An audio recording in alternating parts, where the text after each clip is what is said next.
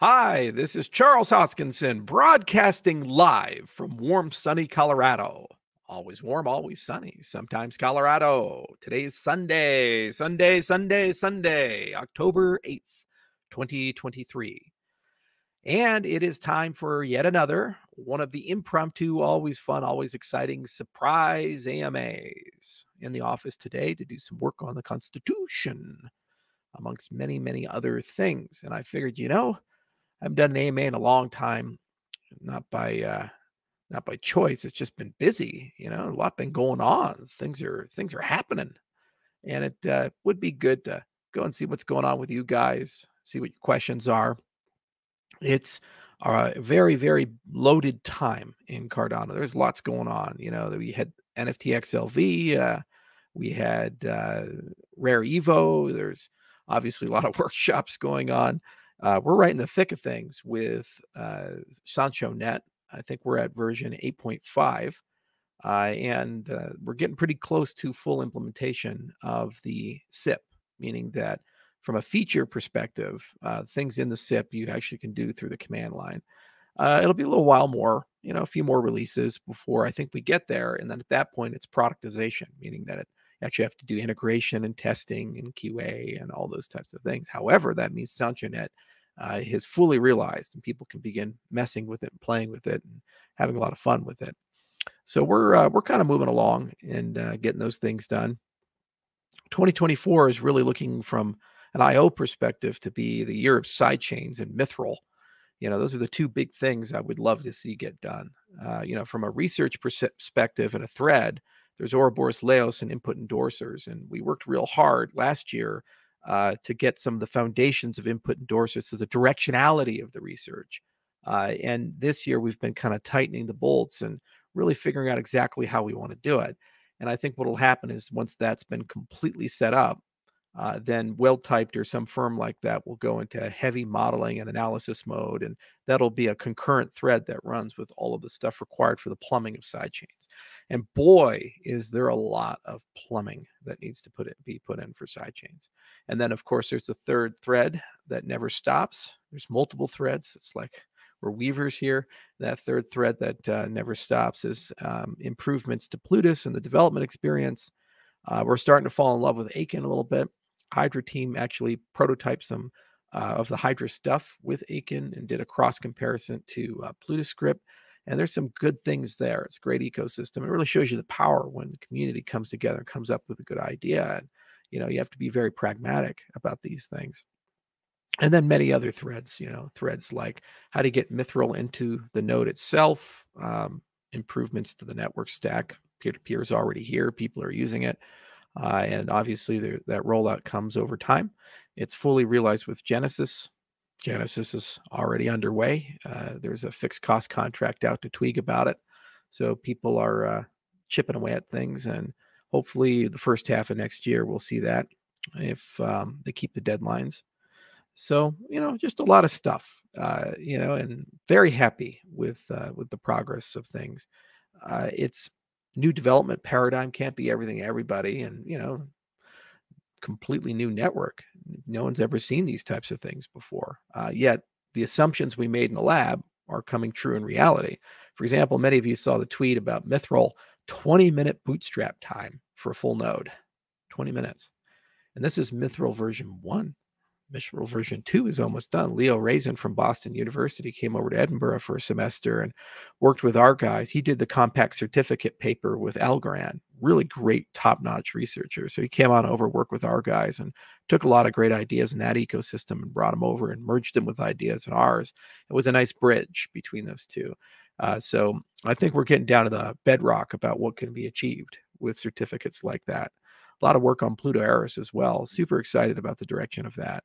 So it's hard to fire on you know five, six different threads of research at the same time. But I'm pretty impressed with how the team's been approaching that, and still a few more announcements for the end of the year. You know, when you look at uh, Minotaur and you know when you look at uh, side chains and these things, I think people would be very, very happy about that. Plus, I guess I have a Twitter space tomorrow with Iran on midnight, and I think people will be very happy about midnight as well. Um, you know, on the commercial side, on our side, IO, you know, we have ventures like RealFi Co. Uh, that's John O'Connor's company. He was director of African operations for a long time, and he did deals like the Ethiopia MOE deal, which, by the way, is still going on. It's still a thing. I love people say it's been canceled or it's a lie. It's like that's still a thing, and it kept and survived through two separate ministers of education and war and other things like that. And there's actually a whole team uh, that works on it. They're part of our PI process uh, and they uh, integrate quite well with the Prism team. We deployed it on the old Prism 1.4, uh, and uh, when the Prism framework upgrades a little bit, a later version of 2x, uh, 2.x will be the rollover to that. Um, remains to be seen how to scale that because there's a lot of problems in many different dimensions on how one would scale that across the entire economy. And if it's even a wise idea to do that, um, but you know, it's still underway. Uh, so John led that effort. He led the effort with many different African jurisdictions, which were extremely crypto curious in 2021 when Bitcoin was $68,000 uh, and not so much after FTX. That whole well dried up. However, the people of Africa never lost their passion. In Nigeria, more than 20% of people own or know somebody who owns uh, a cryptocurrency. That's a country of 200 million people. Think about that, according to data from uh, some big consultancy like Gartner or McKinsey or something like that. Uh, you'll have to find that source, but it's very vibrant. And you'll see it anecdotally when you see the events in Nigeria, like a lot of people show up. And it's actually the same Kenya and many other places. And so RealFi Co is based in Kenya. Uh, John's been putting it together, and that's where a lot of the ideas we've had about microfinance and remittances are coming together. Uh, Dynal Patel, the former chief product officer of Input Outputs, now working over at uh, RealFi Co. with uh, with John. They're both founding and building up that company, alongside a lot of uh, people that were responsible for these pilot projects that we did. And the rubber meets the road, where you actually have direct consumer adoption, and there's a lot of cool things there. Uh, you know, it's uh, there's ebbs and flows into how much you can get done at any given time, and actually, technology tends to be the least limiting factor tends to be the macro cycle. Uh, so corporate procurement goes to hell when a recession happens for new technologies. And when the US government's trying to kill that technology, it doubly so. So you actually have to pivot from a B2B or B2G strategy to a B2C strategy and go direct to the consumer. Because there, there's always a demand signal if there's a good product. And then once you have a large customer base, you can work your way back to B2B and B2G. Just how that works. Uh, but I'm pretty comfortable, happy with it. Prism's looking good too. You know, uh, we're on quarterly release cycles with uh, the PI system that they have and backfilling a lot of little things here and there. Uh, definitely going to open core it. And uh, my hope is that it can become a Hyperledger project, be right up there with Indy and the rest of the gang. There's a lot to do though. Uh, and uh, it's under great leadership under David Harding. He's a wonderful CEO and uh, he's a real smart guy. Been in the identity world for a long time. Lace is looking great too. I'm very happy with Lace, and there's lots of cool announcements and things. And it's one product that I do get involved in from time to time personally with Mike Ward and Tyan uh, and uh, the product team there because uh, I like the fact that we have a monthly release cadence, and I like the fact that we can really start getting to unfinished business. Like right now, we have multi delegation. We got to get delegation portfolios in, but also I'd like to see hardware multi sig, a paper wallet generator yeah, just YubiKey integration, just tons of little things. And so we're going to really master that. And, you know, it's nice because it allowed us to have great conversations about CIP 30, CIP 95, um, great conversations uh, about how one would build a DApp store. And we had some phenomenal ideas there that will work their way through. Uh, and but it makes us care a lot more because we're on the receiving end of the technology, just like Hydra makes us care a lot about the DApp side of things because we have to use the tools we build to implement Hydra. And if they don't work as well as we'd hope, then we're like, ah, uh, we need to make some improvements there. So overall, I kind of enjoy uh, uh, the pace of that, and I'm an aggressive guy, so I'll I'll push harder to speed it up a bit.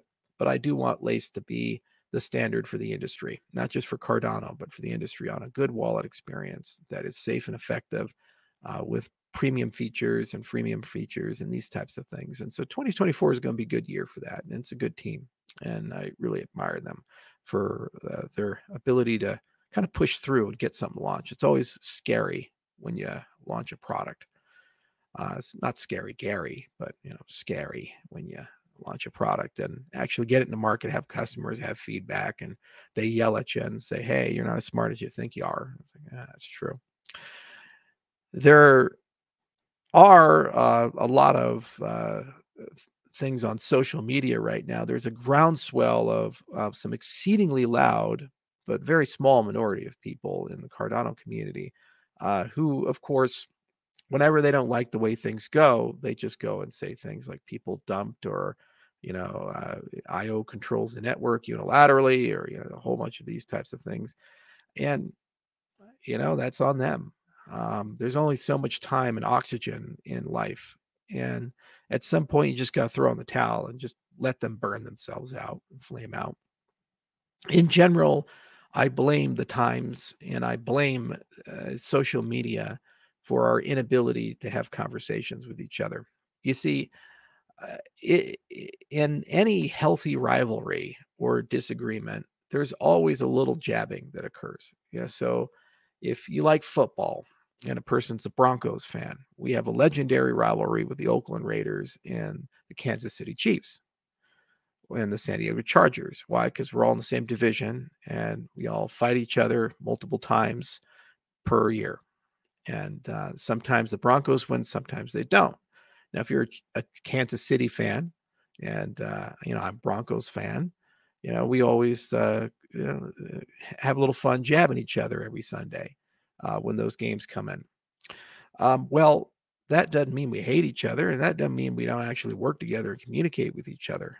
And uh, most of the things that uh, reasonable people do through Twitter and social media uh, when they they say ah Ethereum's this or Cardano's this or Solana's this, like the Nintendo cartridge with Solana, for example. It's in that lens, you know, and it's it. The point of it is just to just to kind of drum up a little of those feelings. Um, but you'll notice something that we're all staying in the same league. We're all cryptocurrencies. We all work together. We all have the same common foes CBDCs and central banks and totalitarian regimes, the delta between the aspirations of your average Ethereum person who really believes in Ethereum and uh, the average Cardano person who really believes in Cardano is not very big. You're both using public key cryptography, both using wallets, both using a cryptocurrency, which makes you a very small minority of the world population at the moment. Yet, uh, unfortunately, there is this uncanny valley where even though people are 98% alike and aligned, that 2% delta actually ends up creating more tribalism than people imagine. And this is amplified by social media, where people think it's okay uh, to say things like people are evil, people are dishonest, people lack integrity. And it's also okay to just lie and omit huge amounts of history. For example, the Genesis keys uh, it's no thing that's hidden. It's like all there. Three entities is 322, IOG, um, Emurgo, and CF. And there's an entire off chain governance structure and on chain implicit governance structure about how those are used. For example, we don't do hard forks until 70% of the SPOs upgrade. That precedent hasn't been violated and it's there and there's all the stuff that happens behind the scenes off chain to basically keep those keys secure and and they're used in very deliberate and considered way with a lot of latency. It takes months to coordinate uh, even minor upgrades at the moment. Now those keys are hard coded into the cardano genesis block and have been for a long time. When are they going to be replaced? Well why do you think we've been talking about CIP 1694 since 2021 you know, this concept of let's upgrade the governance stack of Cardano. And uh, even before there was a CIP 1694, there were discussions about elements and fundamental criteria that would have to go in. The Genesis keys, for example, deprecate them, and that concept replaced with a notion of constitutional committee. Go from static and hard coded to dynamic and voted on with a quorum that can be expanded. It's an M of N with fixed terms and then also allow plutuscripts to be used in it so you can have multiple parties control one of those keys as opposed to a single organization for example and all kinds of bespoke governance structures, and also beholden them to an on chain uh, constitution for a variety of guardrails that one would want to put in the system, and then go from a unicameral to a tricameral model, adding DREPs and stake pool operators formally into the governance process. Well, this is not a new concept. We've been talking about it this year, of more than 50 workshops. And SanchoNet, the entire reason of its existence is for that. And every single person on the development side of Cardano is aligned, trying very hard to test and understand uh, and build infrastructure towards that end, up to and including community projects that are trying to figure out how do we make a great experience for DREPs or for accountability and audit and oversight. What will voting look like in practice? you know how do how do those results get broadcast? What did, what did we learn from the catalyst experiment? What did we learn from polkadot's open gov or tezos's four stage governance process? These types of things. So it's insanely disingenuous then to go ahead and say the goal of this entire endeavor is to preserve and protect the very thing the endeavor is trying to replace and remove. Why would you do it? Why would you go and say these things when all the evidence is in that direction millions actually tens of millions of dollars at this point of development effort and scientific effort have been spent and the entire desire is to do that. I don't know. I don't i don't know why people do that. I don't know why they they feel emboldened for these types of things but they do. Um you know uh, and that's just the nature of discourse today on the internet and generative AI is only going to make it worse because people will just make stuff up and then use AI to reinforce that. And then people just choose to believe what they want to believe. We live in a world today where truth is not an objective, absolute thing. Uh, people basically invent a fantasy and then they ignore any evidence that would dissuade them from that fantasy and they double down on anything that confirms it.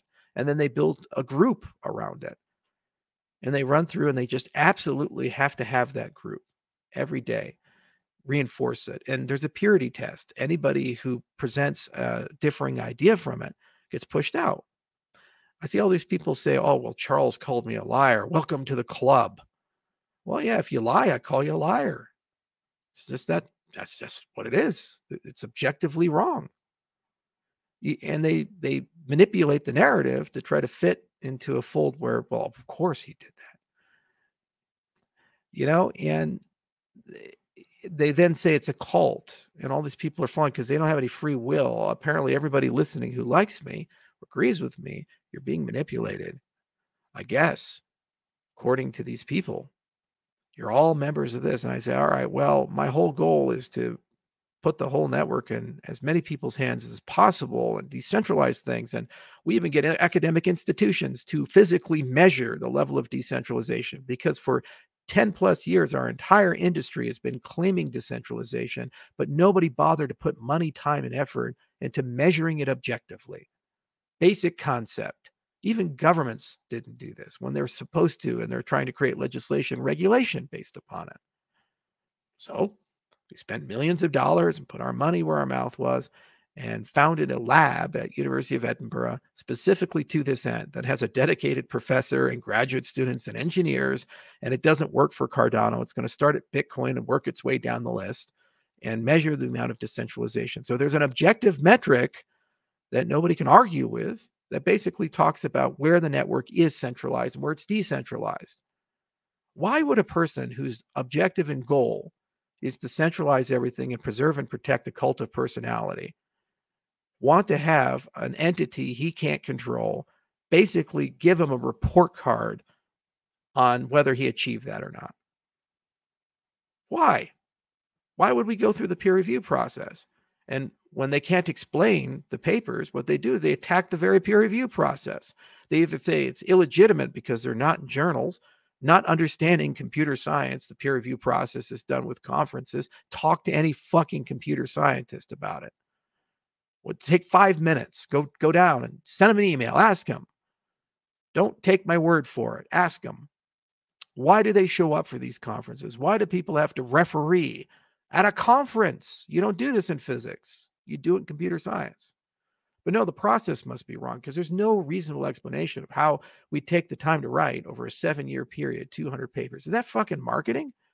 What marketing value do I get out of those papers? Can anybody read them? Can anybody understand them? We predicted all the problems Ethereum was going to run into with Casper years ago. Nobody in the media looked at it, cared about it, wrote about it. Why? Because they couldn't understand the paper. So that's certainly not marketing. And if these papers were bad papers, then why are they getting accepted at major peer review checkpoints?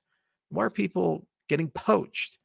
Why do people get tenure? Why do people get promoted in academia? Is it just the entire space is crooked and corrupt, and uh, how you get promoted in computer science land is is completely divorced from the impact of your research that you do? Is your conspiracy so strong that all of computer science now has to be aligned to to be co-opted by the evil Charles Hoskinson? But it's a cult, according to them. Why? Because it disagrees with their worldview. And that's okay now. Just is.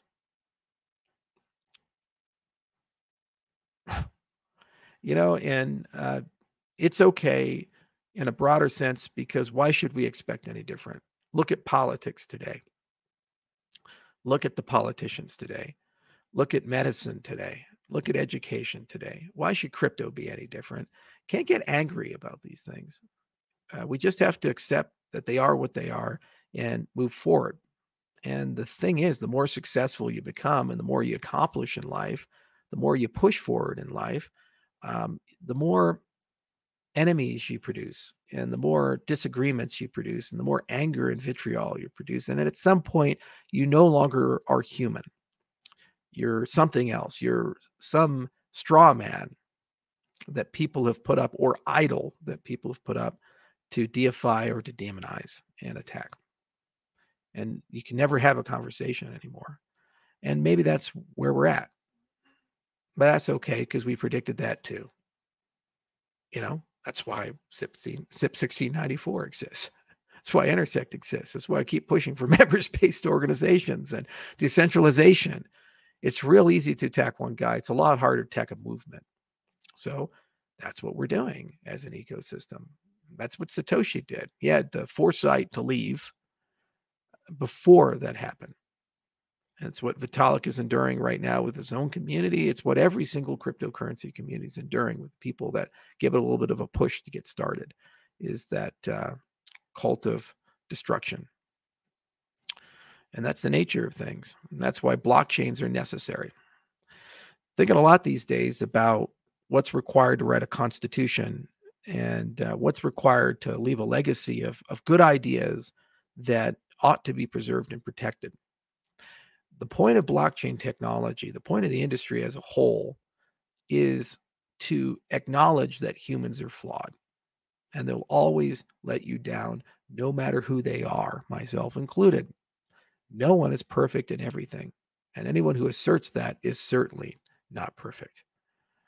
So the point is that you have to introduce systems that don't lie systems that don't have problems, systems that objectively enforce a reality upon people, even if that constructed reality is not the same as actual reality. The fact that we all play the same game and are beholden to the same rules is what makes the game fun, interesting, and useful. There's no laws of physics behind football having a touchdown, seven points, six points, and plus, you know, you get your point after. There's no laws of physics about that. Okay, but they just decided, the, you know, the whole league could get together and change to say a touchdown's 10 points instead of six points. But they don't. Why? Because all those records, the people that came before, and the social dynamics of that change would be dramatic. All right, well, now it's seven, point after six. Now I'm doubting myself. It's six with the after point. Yeah. Yeah, because you can do the two point conversion as well to get to eight. Yeah, so it's six and one. It's too early. Anyway, there's no laws of physics behind that. Uh, but social, it's a constructed reality and it's a strong constructed reality. Blockchain takes this concept of these constructed realities and puts them on steroids, makes them super strong, grows them up, and can use that for the basis of consent, truth, money, and gives you objective metrics that you can look at about how much consent there is, how much security there is behind that constructed reality that exists. And that's a very powerful thing because we've lost the ability in this post truth world to regulate and moderate ourselves. Look at Elon Musk. He's the greatest example of an unhinged person because somewhere along the line, I think he legitimately decided that the world is made up and we're all living in a simulation. So, what he's doing is just maximizing the hilarity of things. No normal person would spend $45 billion to buy a company that has brand equity that's a decade old with 300 million people liking it, and then just change the name to X and then make sex jokes about it.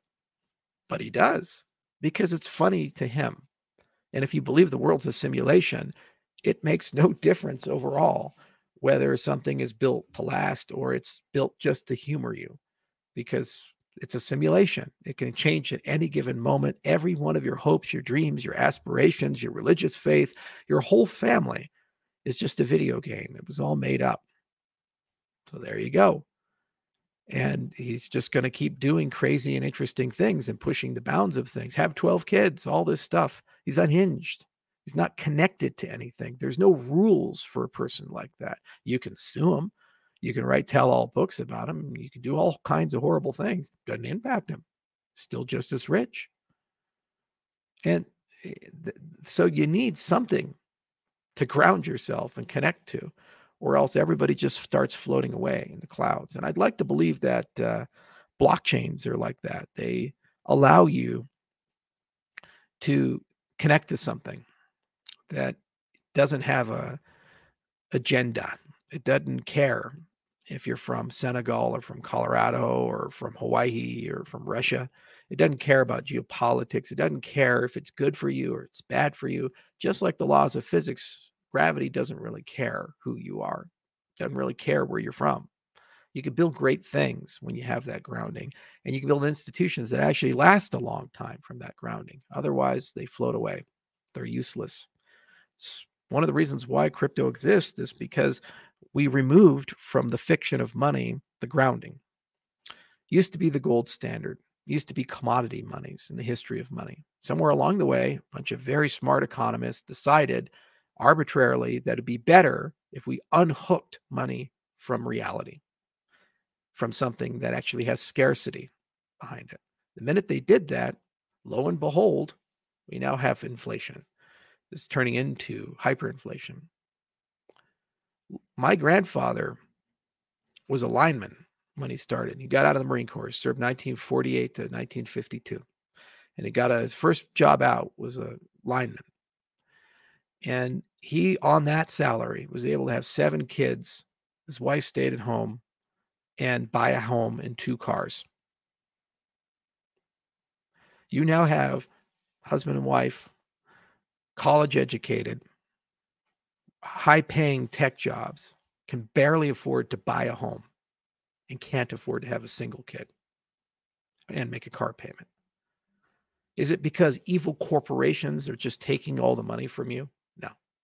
It's because the thing we're paying you with back in 1952 was connected to something real. And the thing we pay you with in 2023 is not. And because of that, a bunch of the powerful people got together with the government. They rig the game and they get to use that remaining value first, and you get the table scraps. It's a rigged game. So cryptocurrency comes along and says, well, let's create a digital scarcity and ground you in something. Okay. And lo and behold, we're the bad guys. Lo and behold, the US government has to take us down. Why? Because they can't allow an industry like this to grow and flourish because in contrast people will start waking up and understanding how worthless money really is and how much pain and suffering that they're going through for the table scraps that they're being given. That's the power of grounding things in reality. Imagine if we did that with elections. Imagine if we did that with property rights. Imagine if we did that with contracts, intellectual property, your data, the oil of the 21st century. That's where the world will go. So every tool in the book is going to be used. Uh, every technique is going to be used, and people will fight things that are in their own best interest because they just don't understand, and they're so in the matrix and so propagandized and so turned into stuff that uh, makes it really hard for them to see the forest from the trees. So you just got to move forward, and um, just got to keep chipping away at it. That's what we do. I've been here for ten years. Ten years. It's a long time. Could have been a doctor in that time period. Probably would have been happier practicing with my brother and dad. Um, but uh, it wouldn't have been as meaningful or interesting, I'll tell you that. And I'll be here for longer. I'm not going anywhere.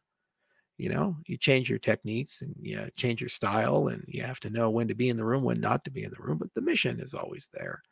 And we're doing it together.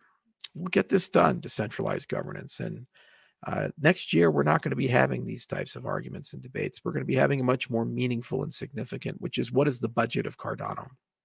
The hidden truth of 1694 is immediately after ratification and adoption, the very first thing people are going to want to do is start spending the treasury. And that needs to be done in a structured way. And how every government does it, that's worth its salt as a budget. You get a pie graph and you have to start allocating the different things. If you care a lot about brand perception, marketing, and adoption, well, do you 20% of the annual budget care? Do you 15% of the annual budget care? Do you 25%? What would you fire or give up for that? We can't do that anymore in the United States. Very easy to fix our budget there. 5% across the board cut every year till the budget balances. That's what corporations do. Notice they can't give anything up anymore because that's how politics works. So, how do we be better and not fall into the same trap? That's the fight for 2024. And that's the fight we invite by embracing decentralized governance. But the payoff is desperately needed funding gets in the hands of institutions, people, and projects, thousands of which across the world to grow and evolve Cardano and push adoption. So we'll do it, we'll get it done. Uh, but that's a much bigger, more interesting fight than uh, what happens over Twitter these days, especially in a post truth world. Okay. Why is Catalyst still our vote solution? It is not. That's the entire point of 1694, the DREP stack, and actually uh, Cardano ballot, amongst some of the other things.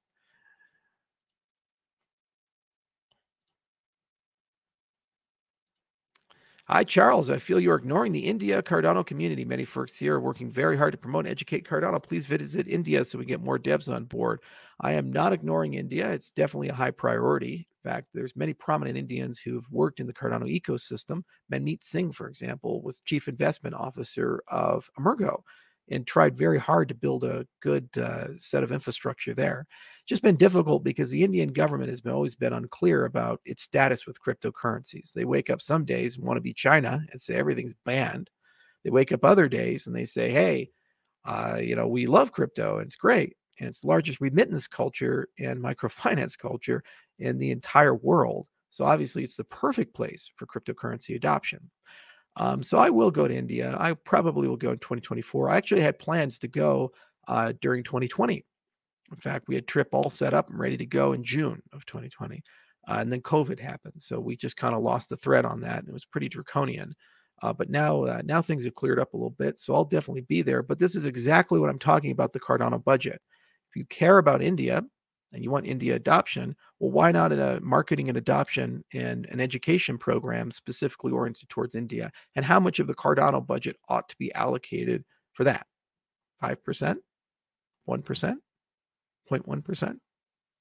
See, when you have D reps, you can have this conversation. Get Indian D reps to join and represent.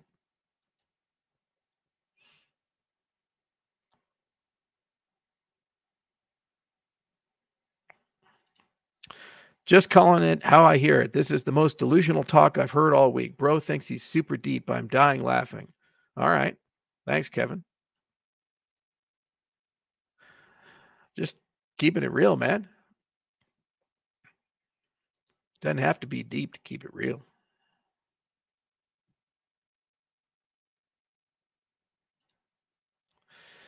Charles, you look good. What do you think about a Hosky sidechain? Should all projects in Cardano aspire to be a sidechain? Um, no. Vast majority of uh, projects uh, should be dApps or native assets or these things. Sidechains make sense from the context that you're trying a completely different execution model, scripting language. You have very different demands about your your data availability, your storage requirements, how you manage your blockchain, uh, you need different things that a Ouroboros is not going to necessarily give you, and you want a different consensus notion, uh, these types of things. So it makes a lot of sense, for example, with World Mobile. You have a huge global network, you have hardware, you have spectrum that's licensed, uh, you have very heterogeneous user sets where the vast majority of people are consumers on handsets and a small backbone of people are providers, and you need to federate that. So that's a very different network than, let's say, a CBDC, uh, where there's just one entity at the top and it's pushing things down, or asset-backed stablecoin, same notion, uh, or a very different entity than a very decentralized network like Cardano's consensus notion. Sidechains allow you to have these multiple models coexist in the same ecosystem and then create mutual network value for each other. But if your goal is to build a DEX, why would you care about any of those things? For example, you, you say, no, I want to run where all the liquidity is so everything can go through and i'm my job is just to efficiently get value transfer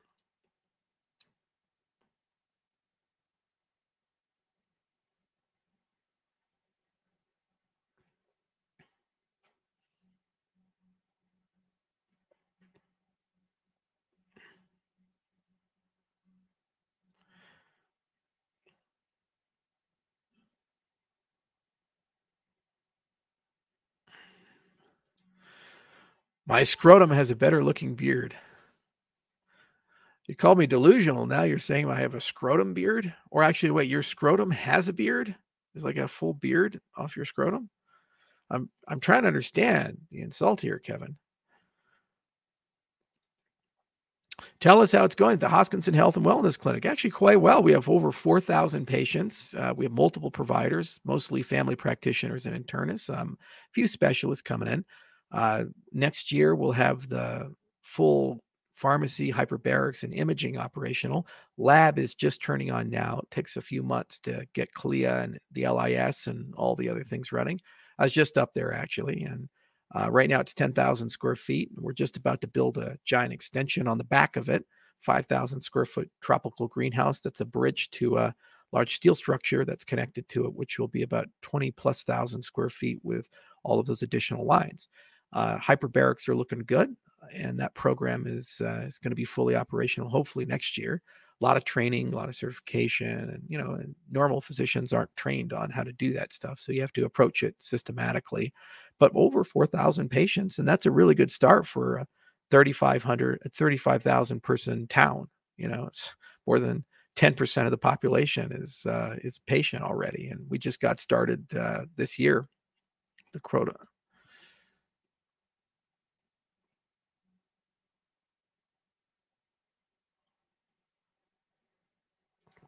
How are all the animals in the ranch getting along these days? They're good, doing really well. Hunting season's almost over for the bison, and they're doing good. 500 plus bison running around, and calving will occur next year. And uh, big elk herds. The elk and the bison kind of hang out, have fun together.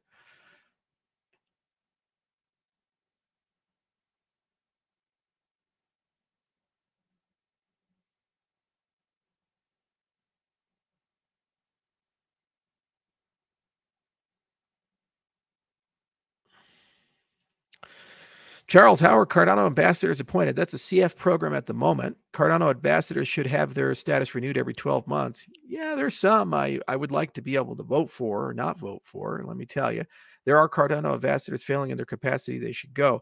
My view is the entire program should be deprecated and moved to a voted program. And basically, people represent through some blockchain based process. And frankly, there should just be a smart contract that uh, that people use for it and then, as part of the Cardano budget, a certain amount of funding goes every year to the ambassador program. You know, foundation did a good job bootstrapping and carrying that forward, but you know, now we have voting, now we have on chain governance. And so it makes more sense for that to occur because you get much better discovery of candidates. Because I mean, if you're sitting in a Swiss foundation, how are you going to know about what the person in New Zealand is doing? Uh, or you know, how are you going to know about what the person in Chile is doing or something like that? It's really hard. No matter how on the ball or vigilant you are, you're just not going to uh, not going to see those people. So let the blockchain be the broker for people to discover, and then let people vote their local clusters and distribute accordingly, or run competing programs, for example.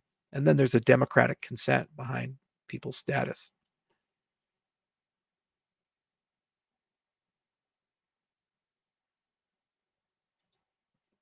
A lot of people are talking about how Hydra is flawed. You know, Hydra is not flawed, guys. When you have a product that is on very strong footing, you have a ton of evidence about what its long term capabilities can be, it evolves with more than 12 releases per year because they release, I think, every month or, or less with something new. And there's a lot of community participation and actual projects in your roadmap, and you're trying to solve real problems like large NFT drops or whatever, and it's something that's a priority. It, it'll get there. It's just a question of how long. Is it going to get there in three months, six months, one year, two years, three years? And and how fast is that protocol evolving? So if you just take a look at snapshot today and say, well, it just doesn't solve my problem. Okay, well, if you come back a year later, maybe it will.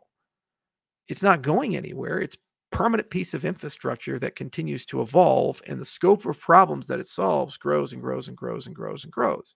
And I think this is an example of where a CEO looks at something different than an engineer would. So an engineer is in the weeds and what they're trying to do is say what is the best tool for the job? And if they don't have that tool or that tool I give you is not quite fit for purpose, they say it's the wrong tool. Well, the CEO looks at the state of all tools and says, okay, well, what processes do we need to put into place so that year by year, that engineer has a larger set of tools and a better set of tools to work with?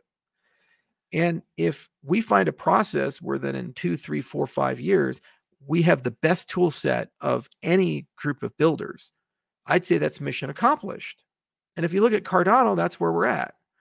We have Hydra as one set of tools. The sidechain strategy is another set of tools. The evolution of extended UTXO and Plutus is another set of tools. Uh, a lot of off-chain stuff as another set of tools. Okay, well, any one of those things potentially could solve your problem. And I look at the evolution of those things and I say, okay, am I choosing, are we making the right bets? And so then the other thing is you have to get the right feedback. That's the point of a members based organization being in charge of your product roadmap. Because then the people who are actually in the trenches and building have a direct line of communication to the product people to influence where the product goes so you can have better predictions about your sets of tools. That's what was done with Mithril and Hydra, where it went from nothing to where we're at with such a large group of people and doing interesting things. Now, is it perfect? No. Does it solve everybody's problems? Oh, Lord, no. But will it get to a point in the evolutionary horizon where it does solve a lot of problems for a lot of people? And the answer is yes. So what's the problem?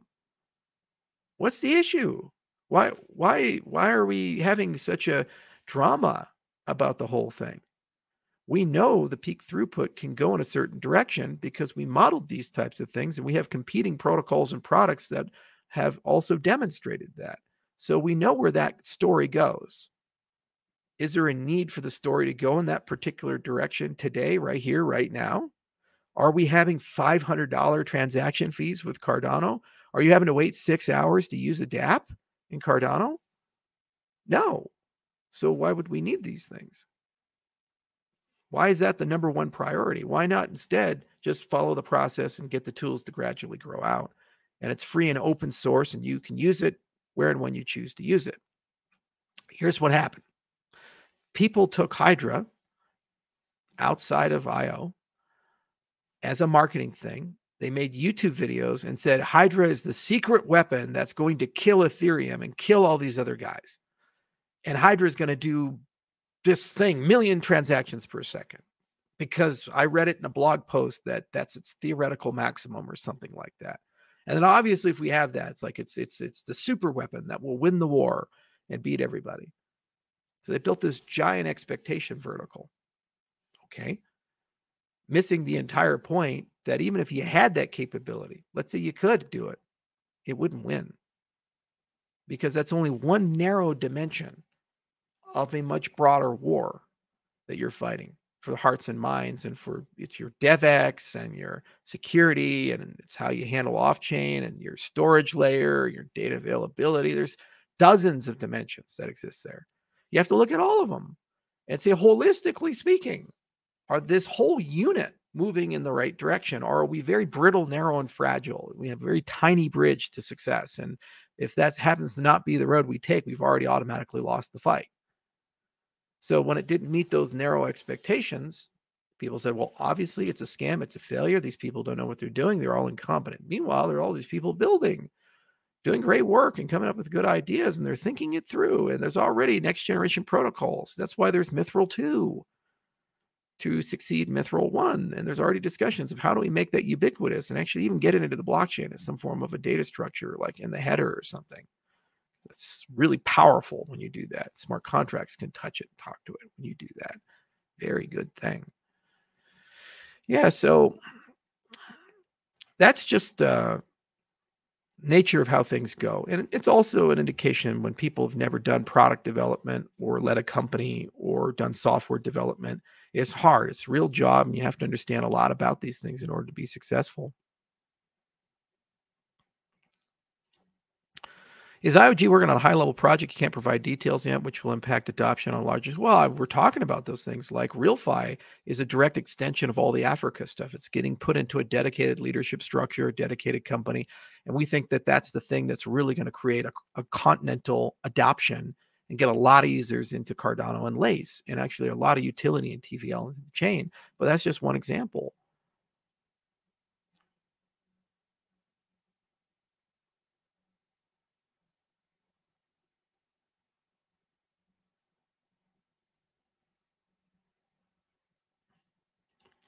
Do you where Dan Larimer is now? What? do you do I know where Dan Larimer is? Probably retired, living off the EOS money. He raised four billion dollars and then said walked away doing stuff.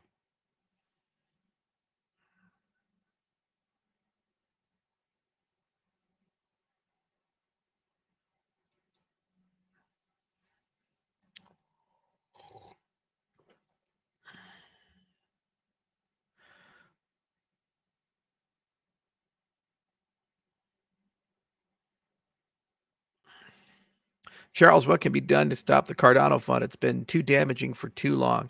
I feel it every day. It makes me older and fatter and more worn down. All the white in my scraggly scrotal beard. Yeah. Um, next year, it's just going to have to be funded.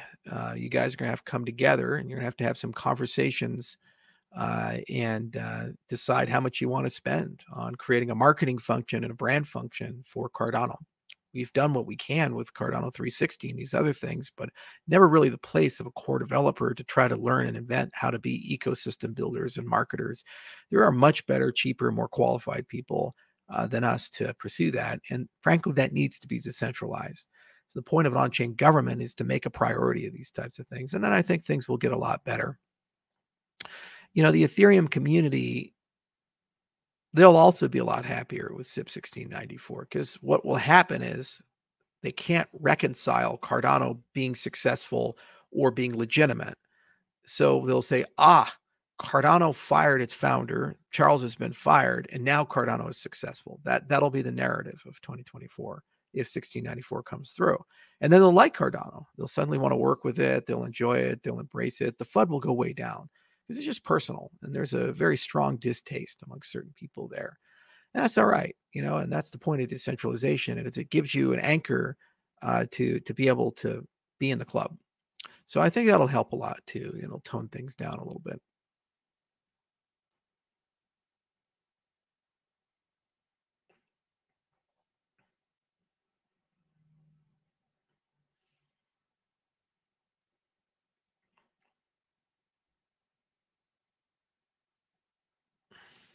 Why did you say a Ripple settlement would be catastrophic for the crypto sector? Well, let's just think it through.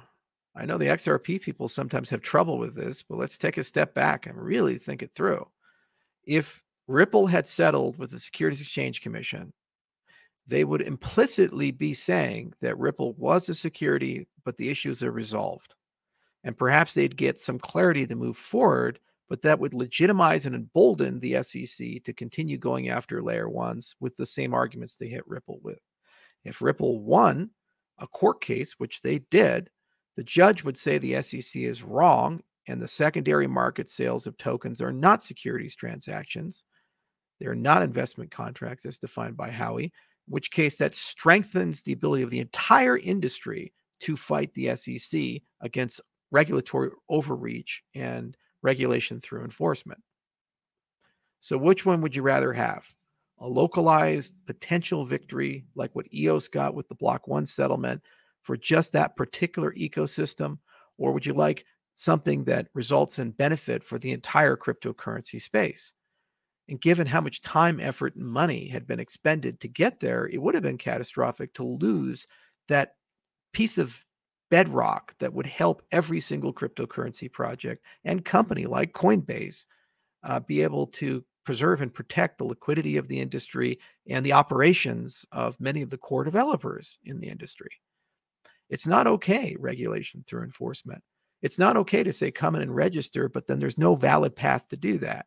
When you in 2021 give a company like Coinbase the ability to do an IPO so yeah, they have an S1. They tell you your business model and say we're okay with retail investors buying shares in your company.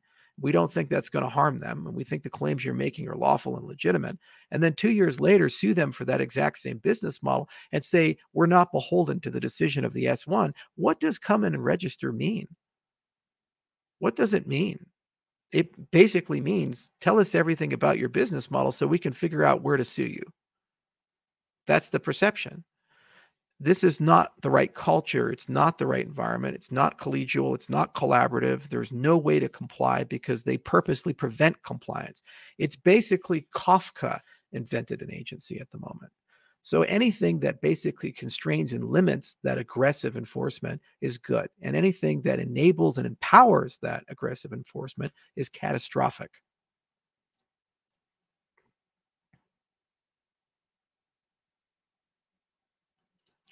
Does this even make any sense at all? Should Israel use nukes on its enemies? Uh, what is to be done with Palestinian sympathizers? Do you, do you, that's nonsense. Come on, come on. Think think that. Come on. Like like in the Gaza Strip, a lot of those people are also Israeli citizens, or eh, so they're going to nuke their own people. Come on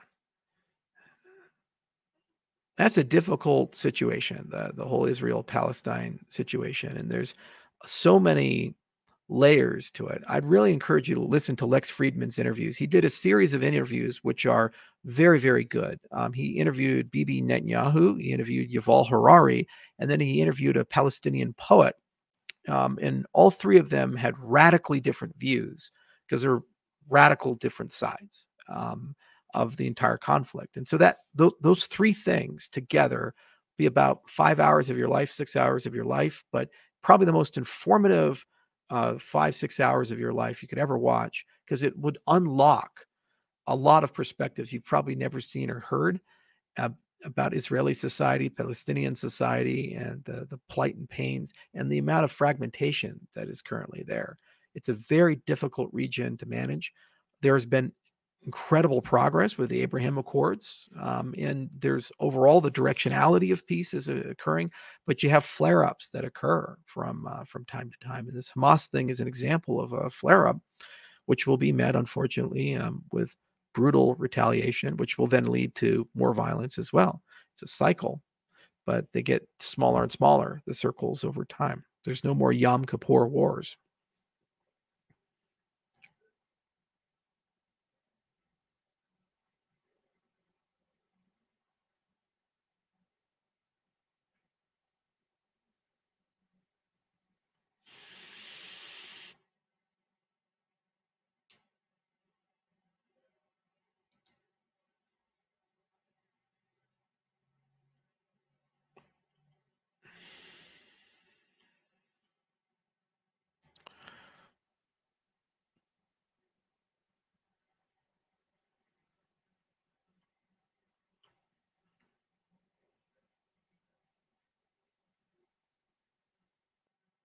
All right, we're just going to go ahead and uh, mute this guy.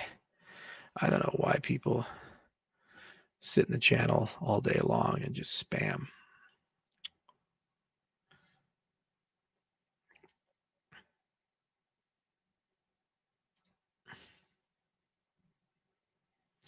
Why were no counterattack by crypto companies on the SEC? Why didn't you all unite against the Securities Exchange Commission's decision? There's nothing we can do.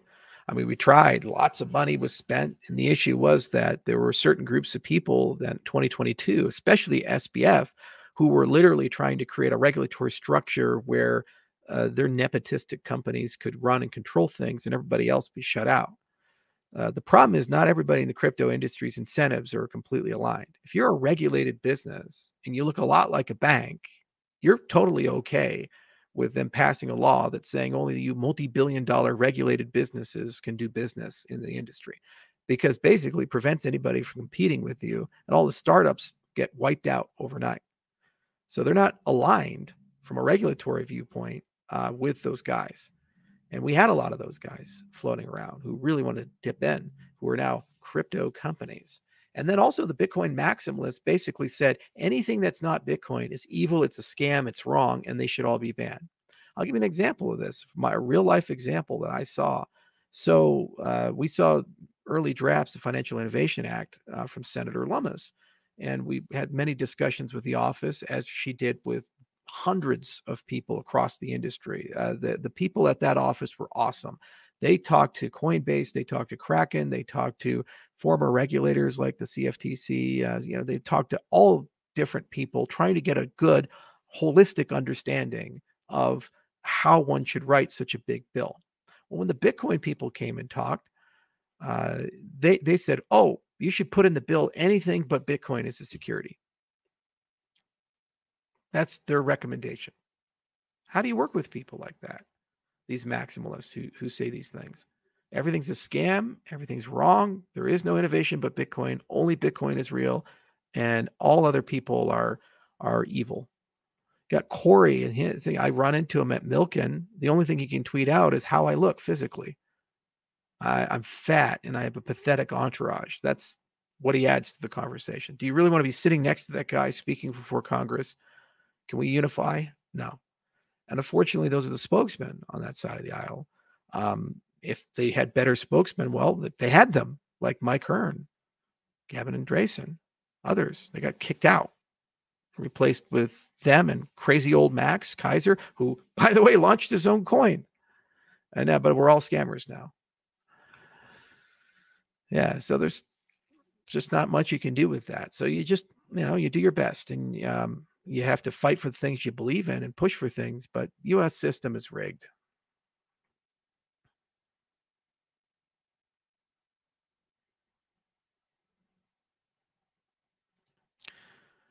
You'll be happy to know that Yonatan Sompolinsky said as he and his family are okay in Israel. That's good. And I know you read about the Ghost and Spectre protocols. Yeah, they were very good protocol for their time. They started a conversation about how do you go from a single chain to a DAG there was Ghost, Spectre, Phantom, and then a whole litany of other things.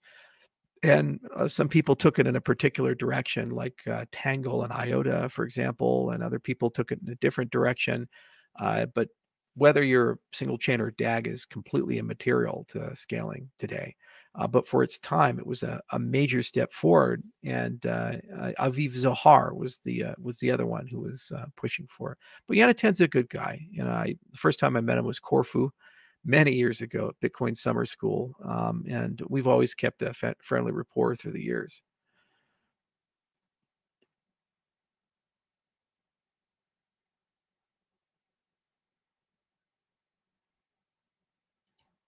Did you change your opinion on Vivek Ramaswamy? I like Vivek.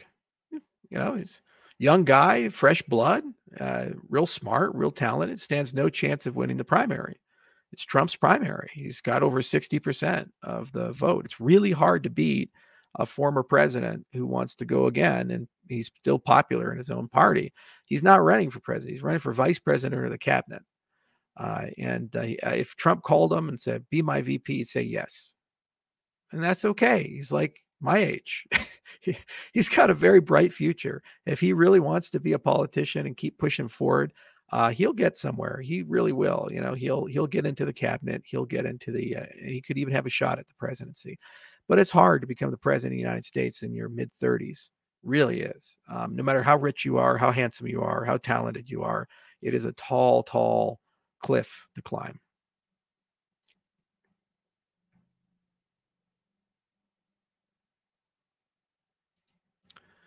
Yeah, we thought that before uh, we elected Barack Hussein Obama. Uh, names don't matter anymore and backgrounds don't matter anymore. We're past all that. I think Vivek has a great chance. And um, I think that the United States could elect a guy like him. The thing is, though, that you have to build a track record, you have to build rapport, you have to build relationships. It takes a long time to do all that stuff. Ronald Reagan, a lot of people don't know this, ran for president twice before he ran in 1980. He ran 1968 and he ran 1976. And he ran again in the primary against Gerald Ford. In 1968, uh, he ran the primary against Nelson Rockefeller and he ran against um, uh, Nixon. And uh, he started in politics in 1964, working with Barry Goldwater as a, a surrogate in that ca- disastrous campaign. And, and but he was the only shining star they had and then he became governor of California, and built political career. So it took between 1964 when he entered and 1980 to actually ascend to the presidency. It's a long journey. It's a lot of things, and he had to lose twice before he won on the third time. So, you know, if Vivek is really serious about this, if he wants to go on the Reagan journey, he can, but it's going to take some time. Donald Trump was thinking about running for president seriously since 2000 it took him 16 years to go from 2000 to 2016 and he was waiting for the right timing. He almost did it in 2012 but he did the calculation and realized that america wasn't really in that right structure.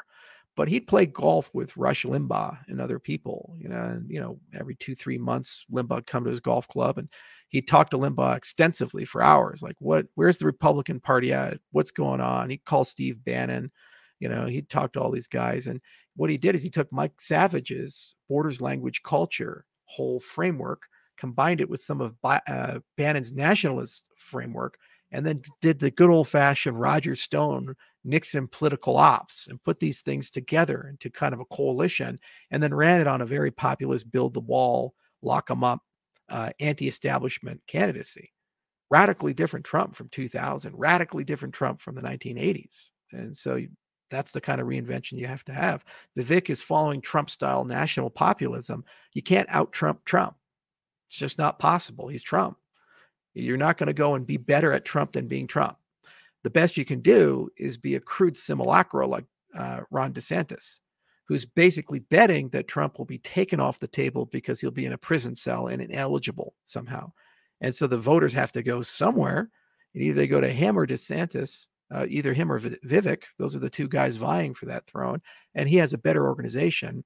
But even that, he's fucked it up, which is sad for him.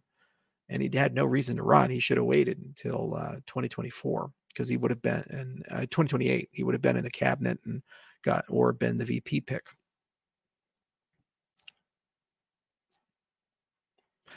RFK Jr. is a real interesting guy. He's a real American. You know, grew up and he's got an amazing life story. He's experienced more than any of us could imagine.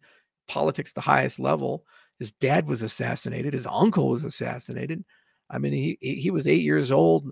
You know, living in a living in a place where there's Russian spies talking to him, and that was the intrigue he grew up with. And he's a smart guy and a very disciplined guy, and he's been through a lot, drug addiction, all kinds of things uh, and survived it.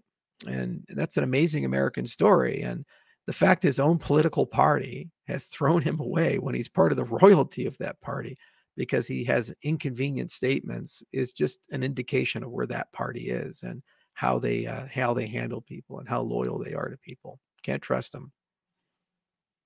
Republicans are no better at this point.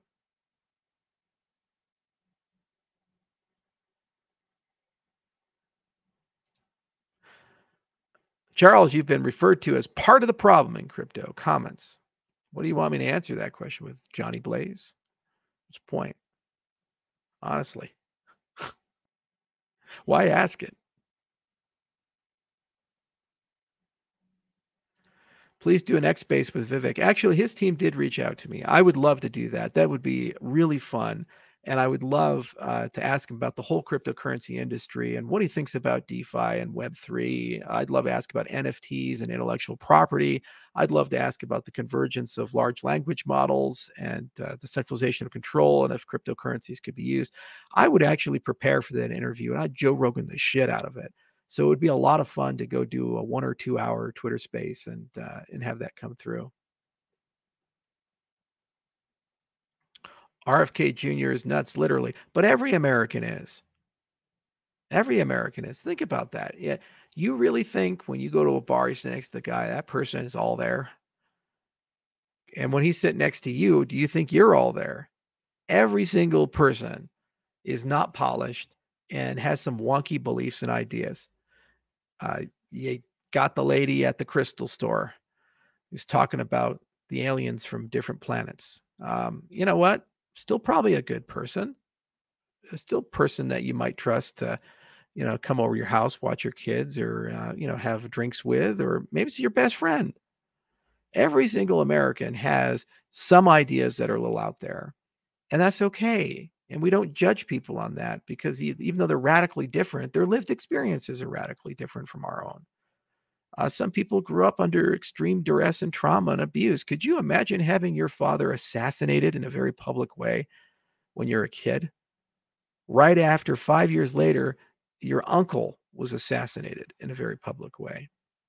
And could you imagine that they were probably killed by the own government that they worked for? And every single day, people come up to you and tell you, Isn't it a shame the CIA killed your father? Can you imagine that lived experience? Yeah, so before you judge, and you know, before you do that, it's the old saying, you know, speck in my eye, log in yours. Uh, everybody's got a little nutty stuff, but the question is, do they have integrity? That's the core of it. Do they have integrity? And do they honestly care about people? Is there real empathy there? And do they want to make the world a better place? And can they listen? Can they learn? And can they assist with you? That's what you look for in good leaders, not ideological perfection. Charles, are all midnight validators SPOs? Maybe you're more comfortable answering that one. Um, for SPOs uh, in midnight, the goal is to deploy Minotaur, and that means it's multi-resource consensus. So the midnight sidechain, what it will be able to do is bootstrap from the SPO set but then it can introduce multiple consensus algorithms. And longer term, I'd like to see a proof of work side, specifically proof of useful work. Snarks, recursive snarks, uh, are very, very, very heavy instruments. And if you have useful work, what you can do is you can actually create an incentives layer to do all those heavy calculations as distributed computation. And then it's a proof acceleration layer for the system. So no matter how heavy your zero knowledge system gets, your user experience is quite good because the majority of your proof work is being done in the construction and uh, transmission uh, and validation through a consensus mechanism. That's the long-term direction I'd like to see that go. But with Minotaur, you can chain multiple consensus protocols together: a BFT protocol with a proof of stake protocol with a proof of work protocol, and you can make it dynamic. So over time, they can move. So it can start as a sidechain and become a layer one. A layer one could go and become a sidechain and go back to a layer one. That's why I made that statement about Algorand. I said, if you're having trouble with your incentives model, come over to Cardano's side. We'll take care of that for a while while you fix all that stuff. And then you can go back to being a layer one. You don't have to do stuff like print a bunch of money and give it to a foundation or something like that to, to, to go and run the network while you figure out your incentive layer little stuff like that it makes it much easier and that's that's a true partnership. People make partnerships not because you're a slave to an entity that's a very different relationship. You make partnership because they have something that you want and you have something they want and you work together. Now when those facts and circumstances change the partnership can break up or it can strengthen based upon the direction it goes and the point of minotaur is it's a regulating function to take you in either direction so it's much more fair for everybody.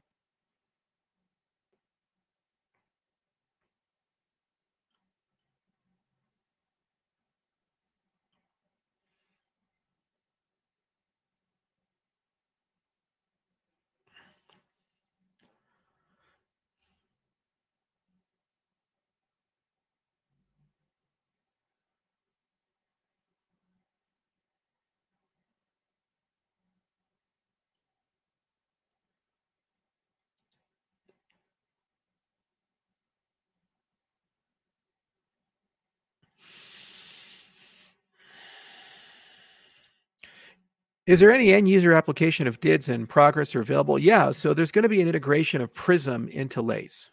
Um, Lace is Prism curious. Prism is Lace curious. They're kind of talking to each other on the weekends, and Mike Ward is talking to Dave, and it's like, "Hey, girl, how you doing?"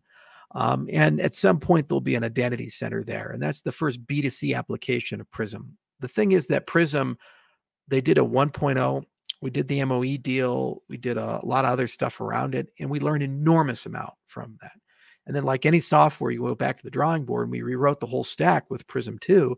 And that complete rewrite is near done. And it has all those nice things like multi tenancy and revocation and all the things you come to know and love, but also direct path to AnonCreds and other standards that exist in the, the identity stack that the W3C and other organizations created for DIDs.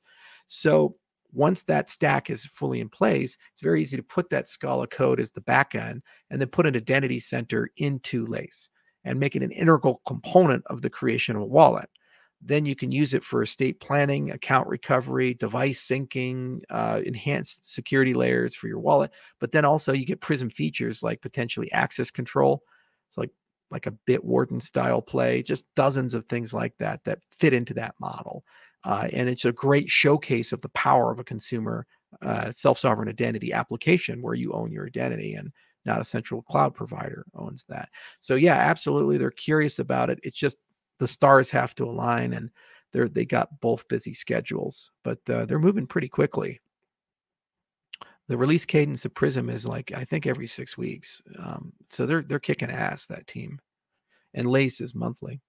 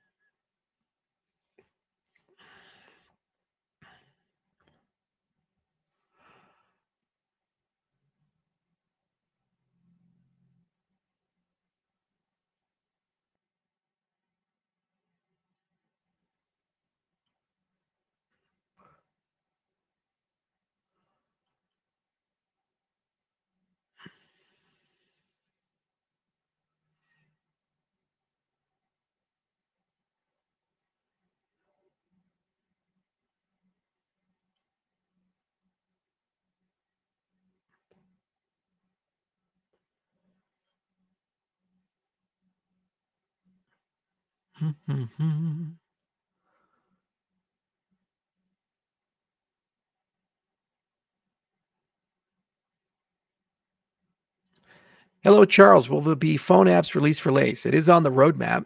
Uh, what I did is I said, let's really push and make sure we're an awesome browser wallet with all those things, but build it with a stack where it's very easy to do code port to the cell phone and to the desktop application uh, so right now we're really focused on getting a lot of core features into the browser side, and there's a few surprises we have towards the end of the year. At least I think people will be very excited about. Uh, and uh, once we're past that, then I think the next priority will be a cell phone app. I'm less bullish about cell phone apps because I can't control the roadmap for that. Apple does and Google does. That's the problem of centralization. To get in the App Store, they tell you what you're allowed to do, and what you're not allowed to do. So if I build some amazing feature that the entire company com- community loves, and Apple says, "Well, we don't like that feature," I have to, I have to remove it. Uh, you know, here's a great example. Amazon's big company, Jeff Bezos. He's got a lot of money. He's got the space penis. He's got all the stuff. He's he's kicking ass, man. Two hundred billion dollars. And Google told him, "Hey, you can't buy Kindle books sorry, we, we, we want our money. And Amazon says, well, that's crazy. We're not going to give you 20% of our Kindle sales in our Amazon app. They said, well, well, then you can't do it. So despite the scale and scope of Amazon, I can't buy a Kindle book through the Amazon app on my phone. I have to go to the browser. Now, if a company of that scale and value and that much power can't influence Google or Epic Games or any of these things, what the hell chance do we have for Lace Wallet? So that's why we say the purest form is the desktop in the browser, because there we have an enormous level of control over what goes into that application, especially the desktop. And then when you go to the cell phone, unfortunately, the gatekeeping function there is so strong that no matter what we do, it's a subset of our vision of uh, experience for the user. It's why I hate gatekeepers. It's why I hate centralization. It's why I hate middlemen. Because is Google helping me write that application? Is Apple helping me write that application? Is, are Google and Apple making my application better for me? No, they're not really doing much for me. I'm writing the code, I'm paying for that. However, they get to tell me my business and they get to tell every other app developer the same thing. Just a great case study in uh, this.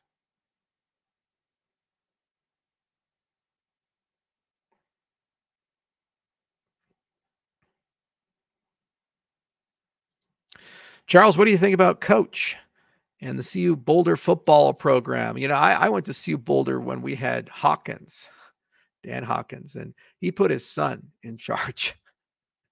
his son was the quarterback, couldn't even see over the line. So it was just a sad, sad time. Uh, the CU program's killing it right now. They're doing a great job. It's a good team. There are very good people there, and those students are fired up. Um, it's almost like um, USC in the old days with uh, uh, Pete Carroll, and they had Matt Leinart and Reggie Bush and all that stuff. We're we're building in that direction. We're building in that direction. pretty excited.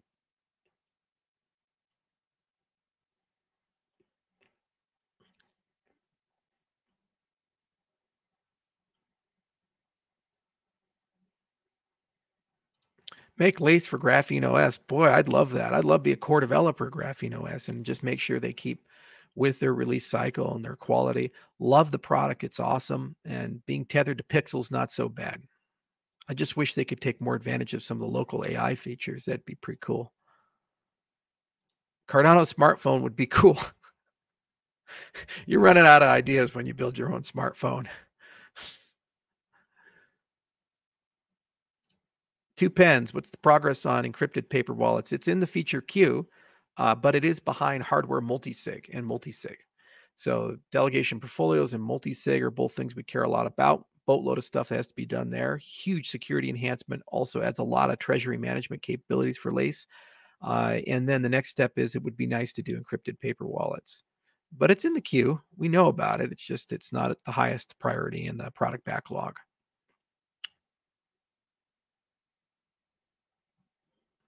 All right, we're just going to go ahead and uh, ban Johnny Blaze too. There we go. Why do people sit in the channel? Maybe the audience can help me with this one. Why would you sit in the channel in for an hour just be like, you are evil, you are a scammer, you are a bad person. Why did you suck all these people into your web of lies? Look, it's Sunday, it's 10:30 in the morning. What else is going on in your life, man? Is this this this is what you want? This is what your life is. You're just you're just gonna sit there and just be like the whole day. Is did you get some sick, fucked up joy out of it? Is this your fetish? I, I don't understand people sometimes. Go read a book, go to the park, get a get an animal to play with or something. That last one, I'm not so sure. Maybe those people shouldn't be playing with animals.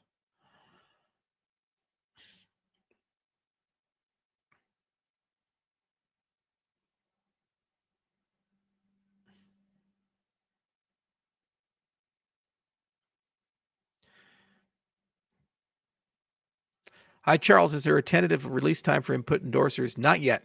Research is still underway. It's um, you have software readiness levels. It's still low on the SRL side of things.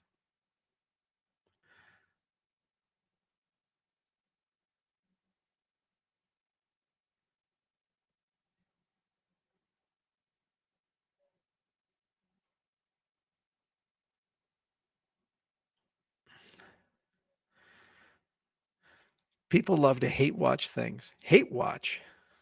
Is that like Baywatch, but it's not hot girls, it's lemon party? Welcome to Hate Watch. We're going to play some pickleball.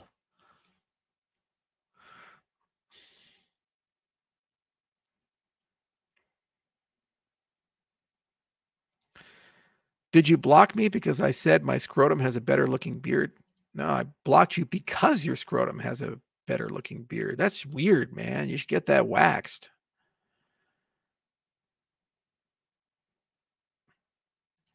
Hi, Charles. I'll be starting an MBA next year, and I'm wondering what do you think? Uh, what do you recommend to build a good research background while I do it and enter a potential PhD route for blockchain? I need the MBA. Not exactly sure what you're trying to accomplish there. Um, I don't really think MBAs are worth anything. It's just not.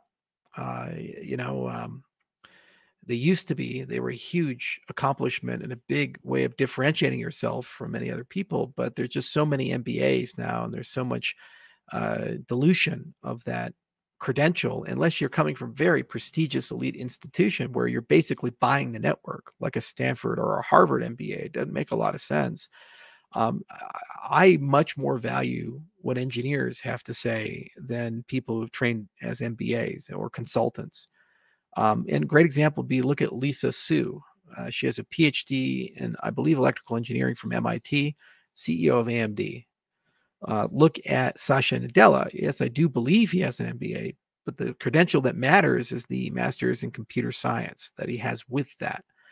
My view is do what MIT did. Uh, they actually have a real cool program. Let me show you guys this. And I'm not saying go to MIT. I mean, if you can get in, congratulations, but that's a real fucking hard thing. But uh, MIT dual MBA, MS engineering. If you're really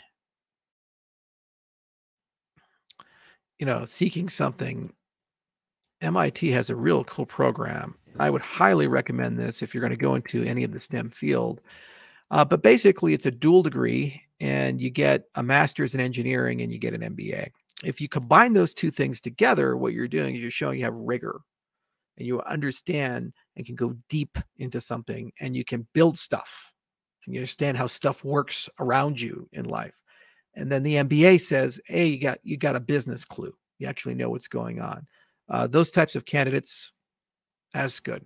That's good to go. PhD is useless unless you plan to do something that requires a PhD.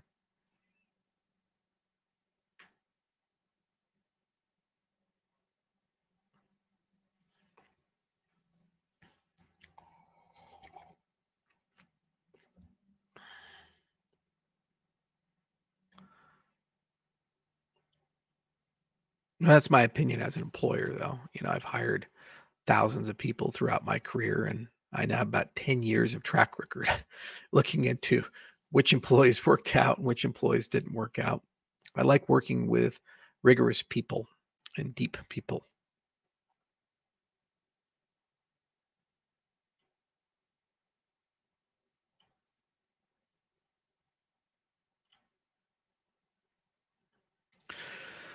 What about just being self-taught as far as business? Yeah, you can do that too. Start a small business and run it for a few years. You'll learn basically everything an MBA learns, man, more, um, and you'll go through hell. It's very hard.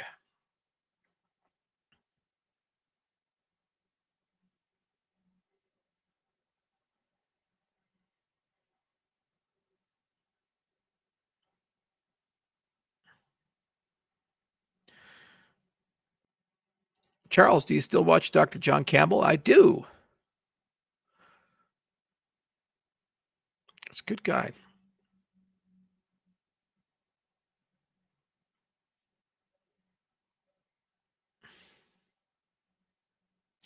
Well, no, I'm talking about the concept of dual degrees in general. If you're going to spend two years getting an MBA, go find a program where you do a master's in engineering and a master's in business in two years. A little harder, it's a lot more work, but that credential is significantly more valuable in my book than uh, than any MBA credential. Um, and actually, the master's product management, CMU has a really good program. It's about a year and a half master's product management. Uh, that's that's significantly better than an MBA because you're actually accountable to the product development process. That said, I mean, if you like get into business school at Sloan or uh, you know Stanford or something like that. Is okay. It's still fucking amazing. You'll you'll get a good network with it, but you're gonna spend a lot of money.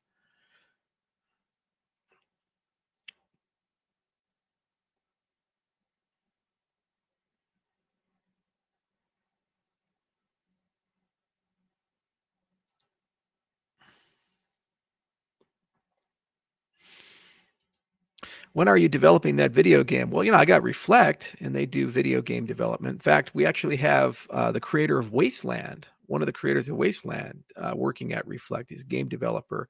He's employee number eight at Interplay. I did Earthworm Jim and a bunch of other things. So there's a good game development team that's at Reflect, and they're doing Girl Fight. They bought the IP for Descent and all this other stuff. So a good catalog that they're putting together to kind of show uh, uh, how you do GameFi on a blockchain. But uh, Legends of Valor is very special to me, and I'm not going to make it unless I'm the game developer. I'm actually the director, and and I'm running that. Um, so if it takes five years to have enough time for it, I'll uh, I'll take the time, and I'm going to go real deep and very specific view on what needs to be done. Crystal Mines was my brother's favorite game. We bought that, and we're going to release that as a browser game. And it'll just be something to have there. You can run it offline and it'll be kind of an addictive thing you play while on an airplane or something like that.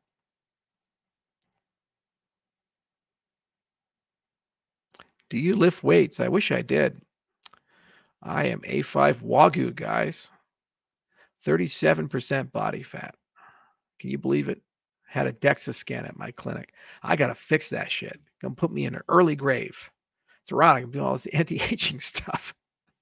we're talking about we're talking about like uh, h- how to use drugs uh, to enhance stem cells being leaked into um, your uh, your blood and then collected through apheresis and then you have mesenchymal stem cells that are pretty good and then upgrading amplifying and growing those in bioreactors and then re-injecting them with the right environment to you know rejuvenate people you know have deep deep technical conversations. And i sit here thinking to myself we do a really good job. We'll add a few more years and make people feel healthier. But diet sleep and exercise you do a really good job with those three things.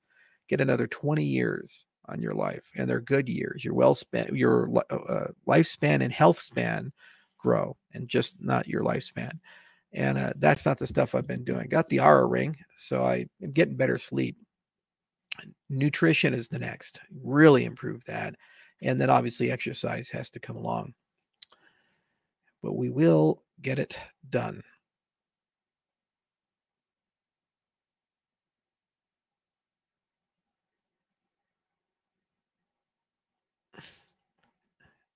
Have you ever beat earthworm jim? No one has ever beaten earthworm jim. No no no no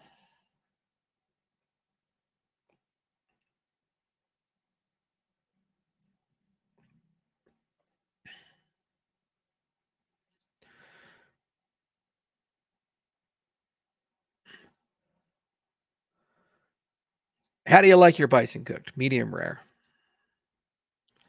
Hi, Charles. I'm a Cardano ambassador from Ghana. Um, any word of motivation for me? Well, first, thank you so much for the support. And uh, my recommendation is just know the protocol, know the people, uh, get involved in SanchoNet, uh, get involved CIP 1694.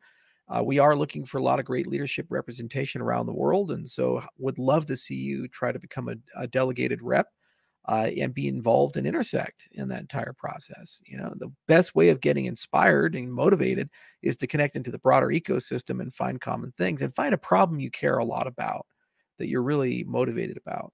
Uh, and then make that problem something that we can solve as an ecosystem.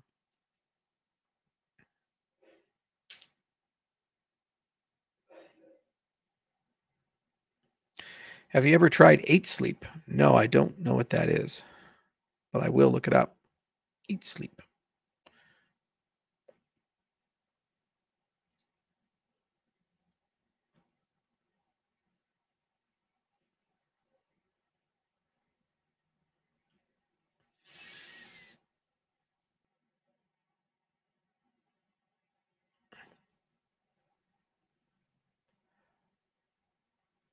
Is AI a better coder? Within five years, it will be.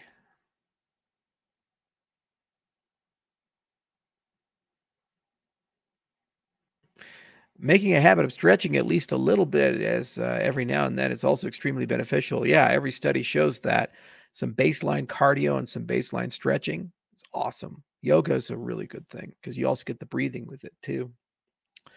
Take care of your health, Charles. We need you around from years to come. I I'm trying. Although I admit there's a lot of people in the chat that would love and relish if I died. Could you imagine if I perished? That was announced. How disgusting the comments would be on Twitter and other places. Ding dong, the scammer's gone. It's um, just where people are at. It's on them, not me. Do live yoga. not my current state. You guys do not want to see me do yoga. I, I did the one picture while gardening in my black shirt, and that's become a meme for uh, how how uh, pudgy I am.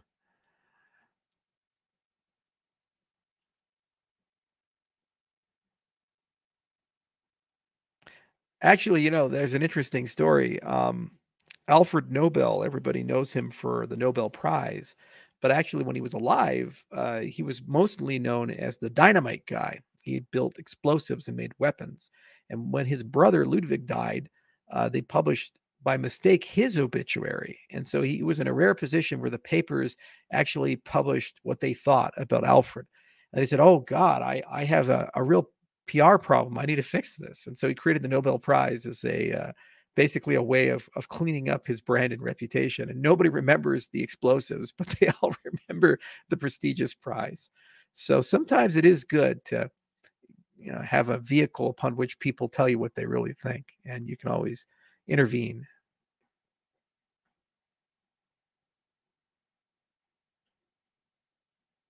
how tall is jj six foot three and a half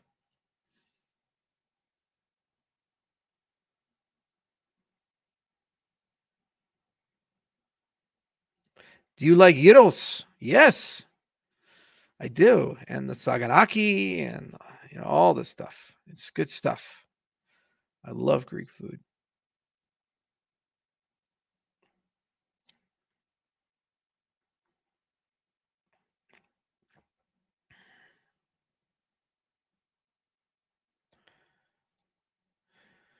My husband met you at the trade show in Vegas last weekend. He was so happy. His name is Blaine. You two talked briefly about your Lex Fridman interview. Our girl turns uh, one next week. Well, thank you so much, Amy. And it was great talking to your husband there at NFT XLV. He's a nice guy.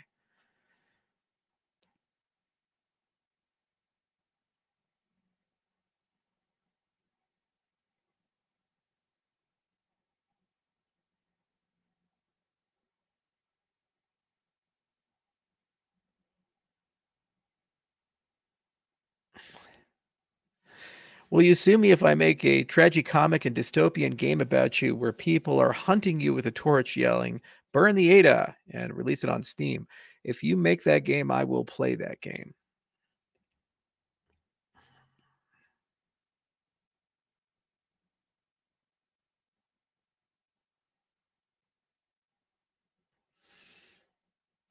Eight Sleep is a temperature controlled mattress cover. Research shows it improves sleep quality says cool guy. Okay, well, take a look at it.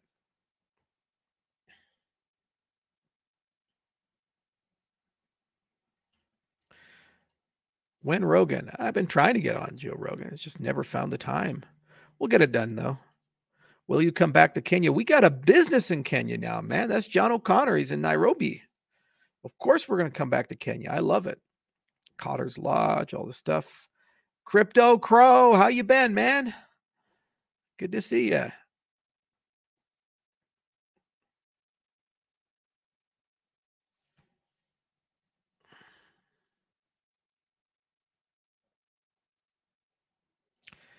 I spoke to you in Toronto in August about quantum uh, uh, quantum security. It was a pleasure to meet you. Well, thank you, sir. Pleasure to meet you too. Will you come to Portugal one day? Yeah, I'll be there for Web Summit actually at the end of November, uh, middle November, speaking at Web Summit.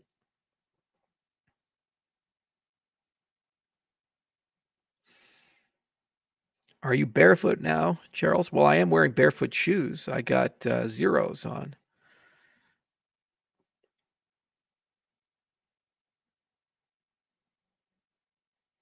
Hey Charles, do you have you heard when that Netflix show will happen? So Jason Cohen is doing it for Netflix. I think you're referring to the documentary that he's shooting for Avi, of which I'm a part of it.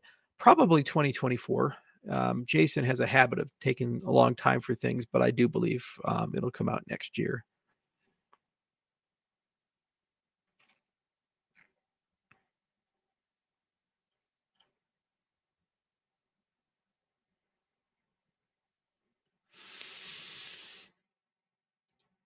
What's your favorite flower? It's the stargazer lily.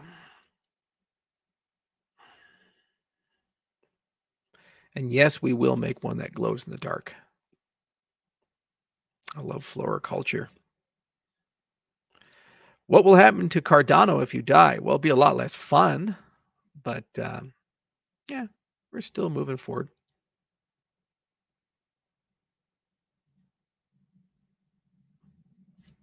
Hey, Charles, how do you think the community will react to you donating 300 million ADA to the Cardano Treasury?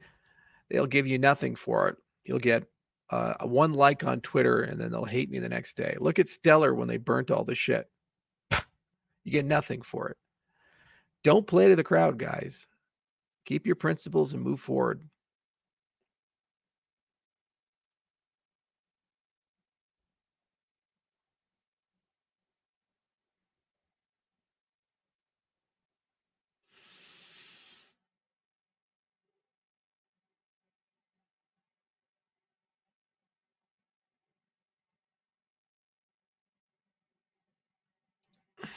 Oof, Web Summit. They almost crucified you last time. Yeah, they put me on with Ben McKenzie and uh, some other gal, and they they basically just came at me, and I was like, okay, I I'm not Sam. I didn't start uh, FTX. Why are you trying to put us in the same bucket?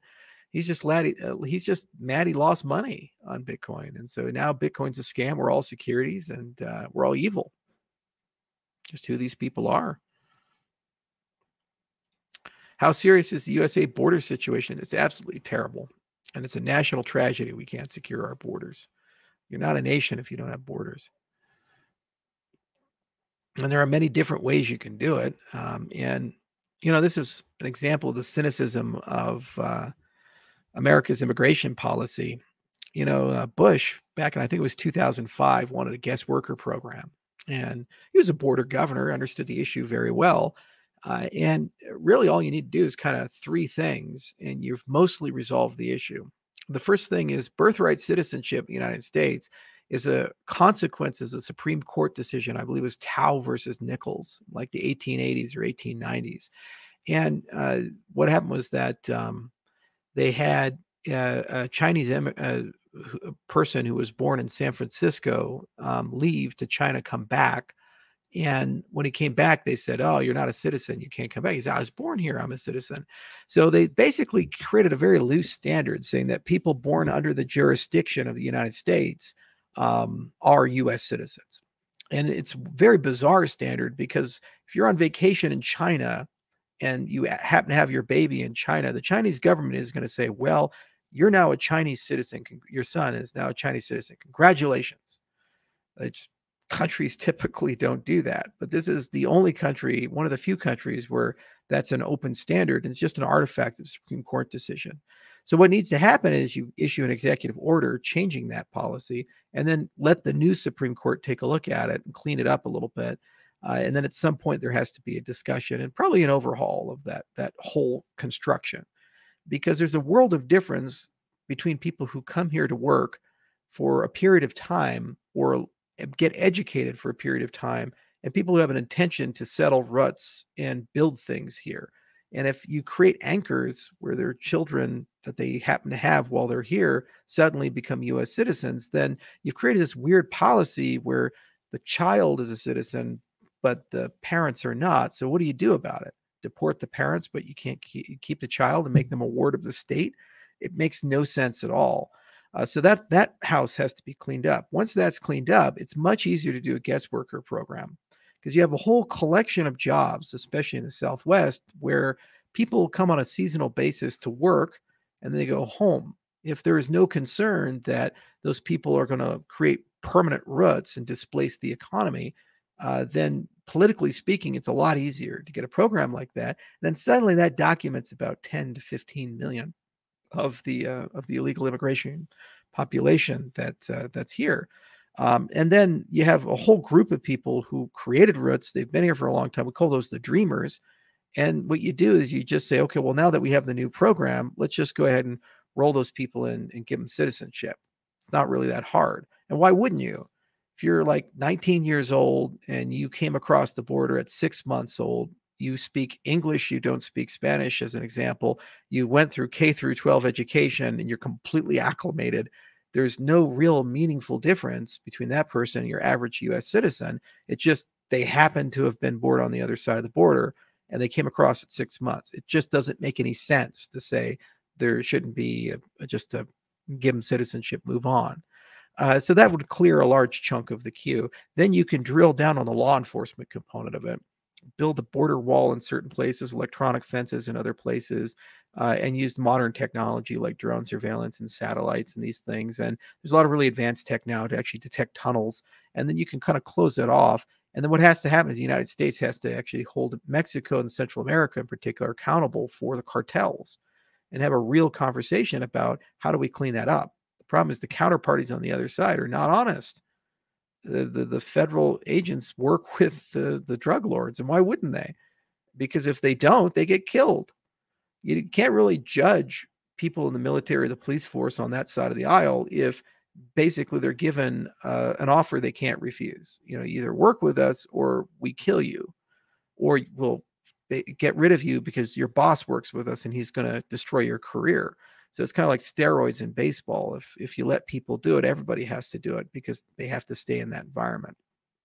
So the key there is you have to work out a deal at the highest levels and say basically if you tolerate this type of criminality and conduct and violence, there's going to be a series of sanctions and economic consequences that will be levied. And also, we will hold the government legally accountable up to and including making them complicit in the murders and the things and actually issue warrants for their arrest and drag them to the United States and, and actually hold them accountable. You start doing that very quickly, very, very quickly, those swamps get drained because you've created incentives at the highest levels. And yes, you're going to have to give them resources. So U.S. special forces are going to have to work with the Mexican government in particular, because usually the, when they talk about immigration policy, that's where people focus the most effort on. And you can clean it up in a few years. But you know, it's an all hands thing. You need to talk to the BORTAC guys, you need to talk to the border governors, and you just have to look at things in layers and you work your way through. What you can't do is a one size fits all single bill, have to pass it, find out in it, and then say everybody is is evil or wrong who disagrees with me. The Democrats have absolutely no incentive to solve this problem because what they want to do is wait for it to become so bad that they can get blanket citizenship. And they're hoping that that becomes a monolithic voting block that'll turn Texas blue. So they have no incentive to solve the problem. They'll just, their, their solution is basically citizenship for all. Um, the Republicans have no incentive to solve it because they are addicted to the cheap labor. They really love that. And that's what their their people tell them to do. So it's an example of the uniparty basically looking at the political reality and saying we just don't want to touch it. We don't want to solve it, but you can solve it in layers, and you have to solve some things on the like the legacy stuff, like Tal versus Nichols, and you have to solve some things, uh, basically working with the border governors and building walls in certain places, electronic fences in other places, and kind of, and then you have to also look at which governments are the biggest offenders of the problem, and then gradually work with them to kind of tamper it down. And you have a carrot and a stick where you create incentives, but then disincentives as well. Uh, and uh, that with other things like, okay, well, which legacy people are just going to roll into citizenship? Uh, that's how you solve that. Uh, it takes a little time and you have to be intellectually honest about it. And you say there's a world of difference between um, a person from Russia who's illegally crossed the border to be a spy in the United States and a person who's lived in the United States since they were six months old and they're brought over with their parents uh, and have been educated K through 12, potentially up including college. And for all intents and purposes, they think they're an American. And they may even have documents that show that way that are forged. And then they discover only after they're trying to join the military or go to college or something like that that they're not a citizen. Uh, so that's that's not the same category. And to treat them like that is is not only unethical, it's just stupid policy. But you can't you can't have those conversations right now in the current political environment. You just can't because there's no incentives to have those types of conversations and kind of think around the problem and resolve the problem. How is Midnight planned on being used in the financial sector? And are there any major partners in play yet? I really am excited about integration of Midnight with security tokens and talking about regulated value transfer protocols. We're going to talk all about that at the Cardano Summit. And actually, I think the perfect jurisdiction is Abu Dhabi and Dubai for this because they're progressive enough on the regulatory side to enable these things. And you can kind of create a shadow financial market of Africa in Abu Dhabi and Dubai and make it 100% blockchain based. And I could imagine DEXs trading securities issued in Ethiopia and Kenya and other places in Dubai or Abu Dhabi. But you need privacy because you, if you have compliance, you'll have uh, DIDs and these things, but then you have personally identifiable information. You have to keep that private, except for the disclosure regime connected with those regulated assets.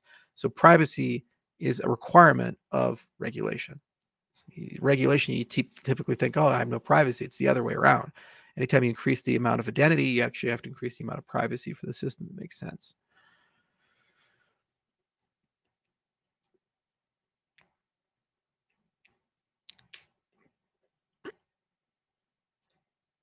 Why give illegal migrants a social security number? It makes no sense. Um, it really doesn't. They are paying into the system when they get wages, usually through stolen identities. But uh, instead, you should have guest worker program and a proper tax regime and identification regime.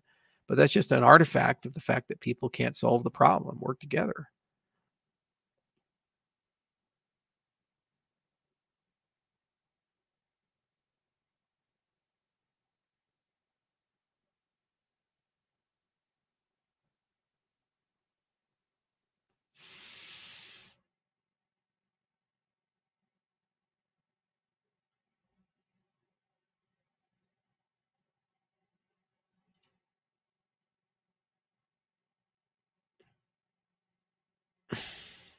Thoughts on the H1B visa system. The whole fucking system is broken.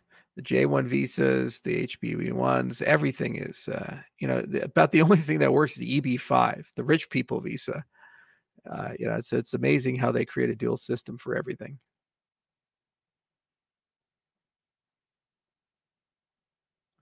Yeah, this is actually a great point. You know, they pay taxes on wages they can't actually collect benefits from if they're not in the cash economy which many are and they're actually using a stolen social security or they have some form of identifier and they're paying taxes uh, they get no benefits back. So actually they pay at the highest rate which isn't not fair to them. Um, so that's why guest worker program makes a lot of sense and redo the entire migration system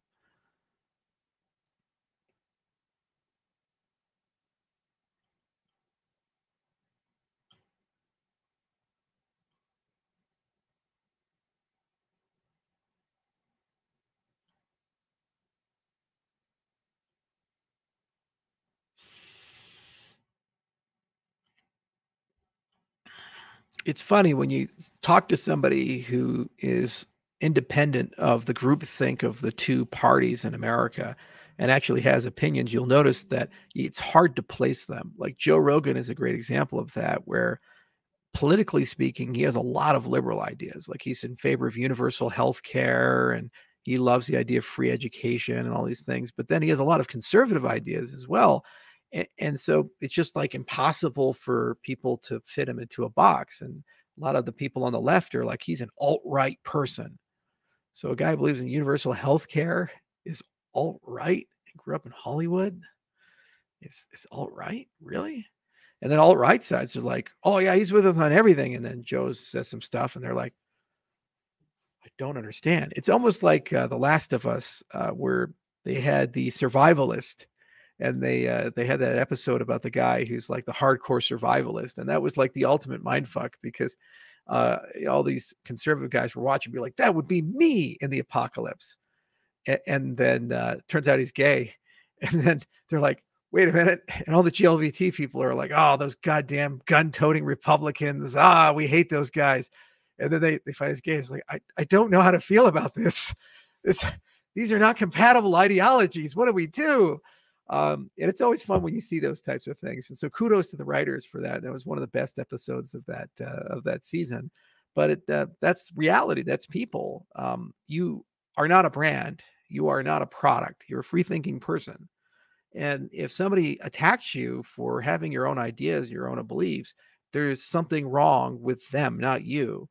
uh, you're you know it might be that you have kooky beliefs and not many people agree with them but you you aren't you're not supposed to just be a brand i, I support the current thing that's the difference between an npc and a pc and and so on the immigration side um, there's a lot of good ideas that came out of the left on how to solve this issue but there are some acknowledgments about structural deficiencies from the constitutional level on down and there needs to be a serious conversation evaluation. You can't solve the problem unless you have a holistic solution. So you have to bring everything together and you have to acknowledge where people's incentives sit and why the problem exists.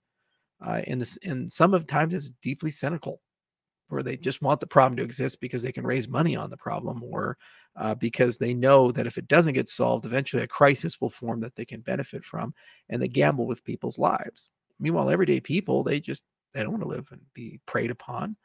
Um, look at how much sex trafficking occurs and look at how much violence occurs for people who are in the United States illegally and how little representation uh, and sunlight that they get uh, as a result of that.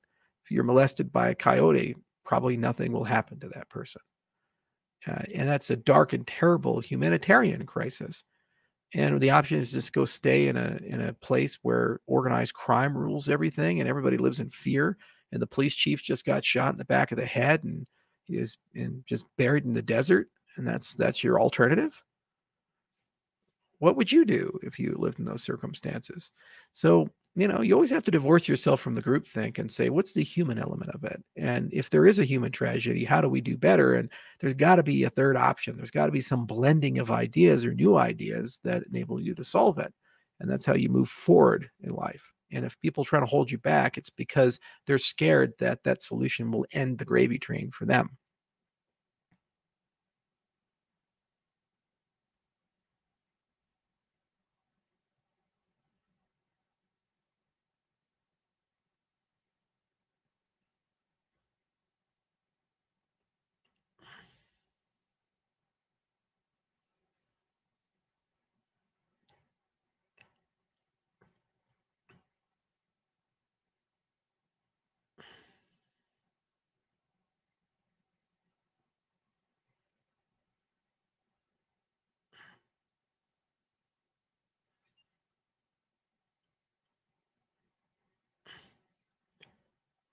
Thoughts on the sound of freedom? Yeah, it is really interesting that Hollywood attacked a successful piece of IP, which is uh, based on a true story about child sex trafficking. You know, why do they hate that movie so much?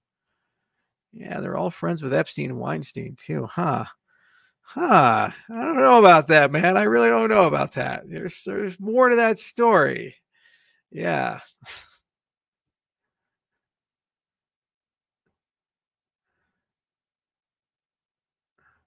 Status on the Ethiopia project's already commented. You're a hard man to figure out. and that's the point y'all should be. Were you surprised that room temperature ambient pressure semiconductor superconductor was fake? Not really. I mean, everybody was super skeptical about it. We were excited about it too. Uh, I mean, there's bad career implications when you publish a paper like that. So it sucks to be those guys. But yeah, uh, we were, you know, I, I was just a cautious observer on the outside.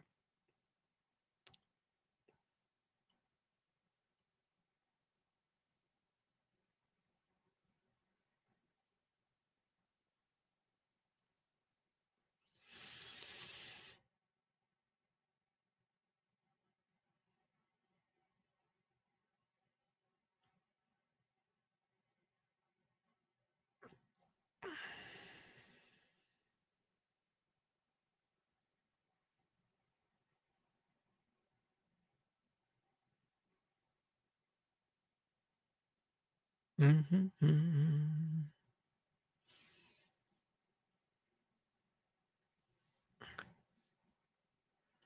Thoughts on dcSpark's projects and Mina's progress? That's called interoperability. Them working with other people's good for the ecosystem. They learn from it. They bring those ideas back. And with a members based organization, what you can do is they can have discussions about how we can grow and evolve from other people's ideas as opposed to pretending like we always have the best ideas internally.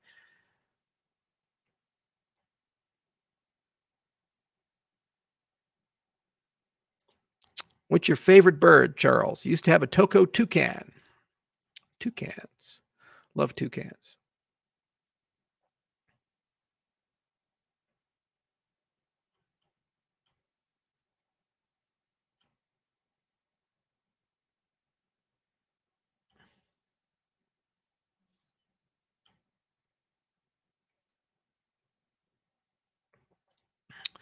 Reflect was easily one of the coolest projects. Excited to see how we can invest in that. Yeah, pretty cool, isn't it? Yeah, there's a lot of nifty, interesting things that uh, they're doing. I like Les a lot, and there's a wonderful team there, Eric and Josh Miller and the others, and uh, it's going to be fun to watch that company grow up uh, next year.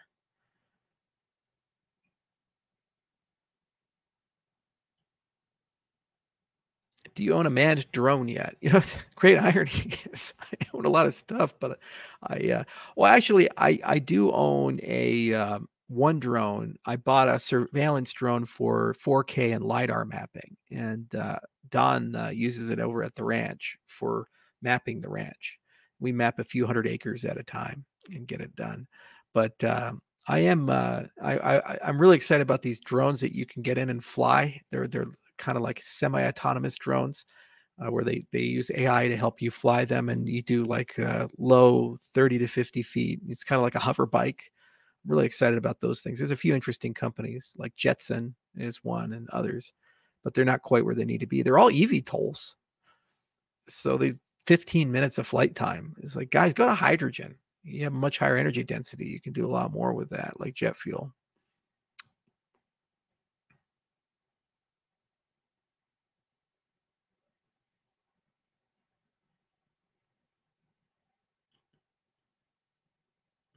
Were you a fan of Snoop Dogg before? You know, I always admired Snoop Dogg's business acumen. Uh, there's a few songs of his that I like, but I'm not a huge rap guy.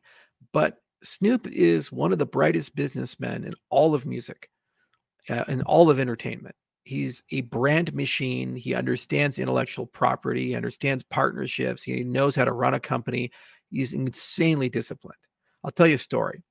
So I went down, saw him in Colorado Springs, and he was with Warren G and all the other guys. I gave Warren G some shit because he he was kind of phoning it in at the uh, at the uh, um, uh, performance, although they were tired. But Snoop did not.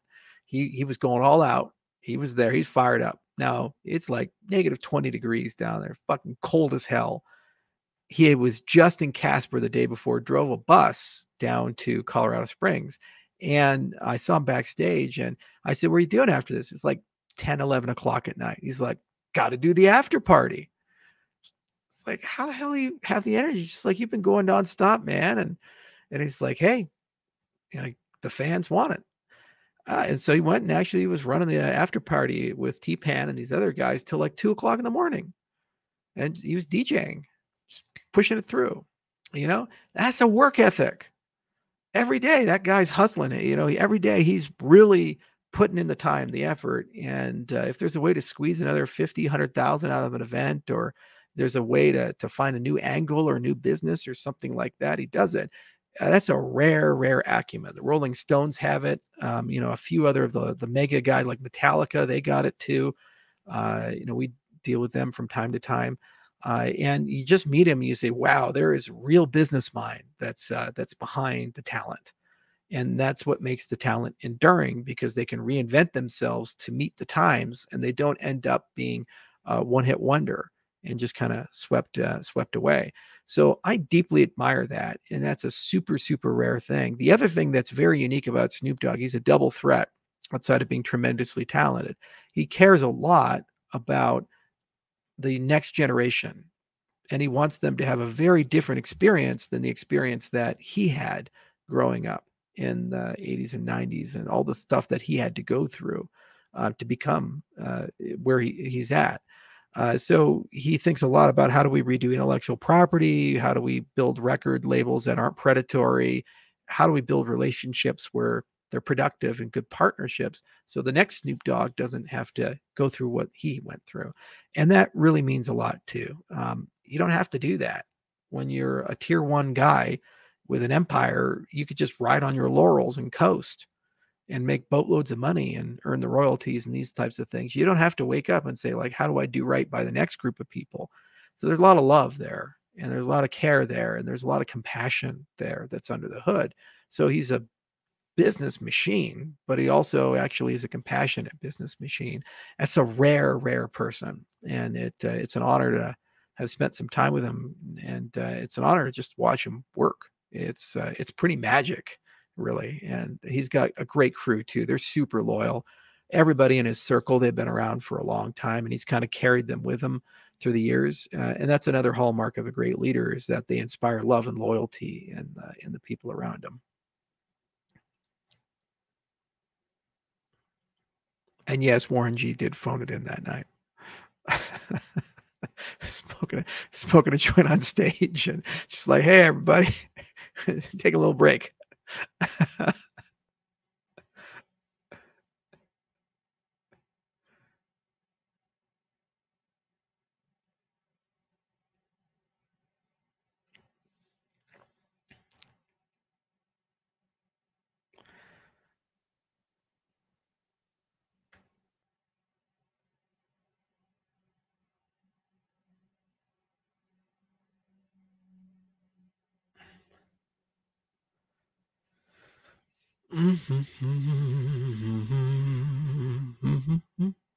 Thoughts on weed?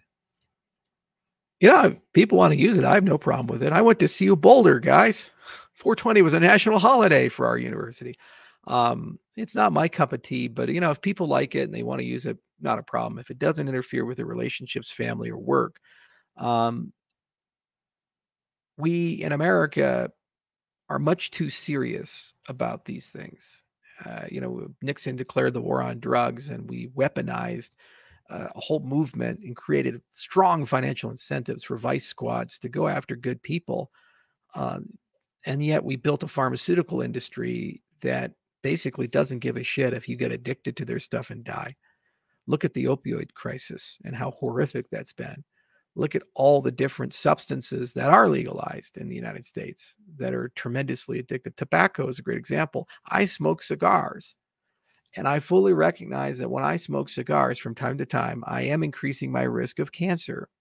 I fully understand that. And I take that risk. Now I'm not addicted to cigars. If somebody came and said, you can never smoke a cigar again, I'd say, okay, that's fine. But here's the reality a lot of people who smoke cigarettes are addicted and no matter how hard they try to quit, life pushes them back into it. Half a million Americans die every year because of that. Half a million, perfectly legal. And then we go and say, "Oh God, marijuana, so terrible."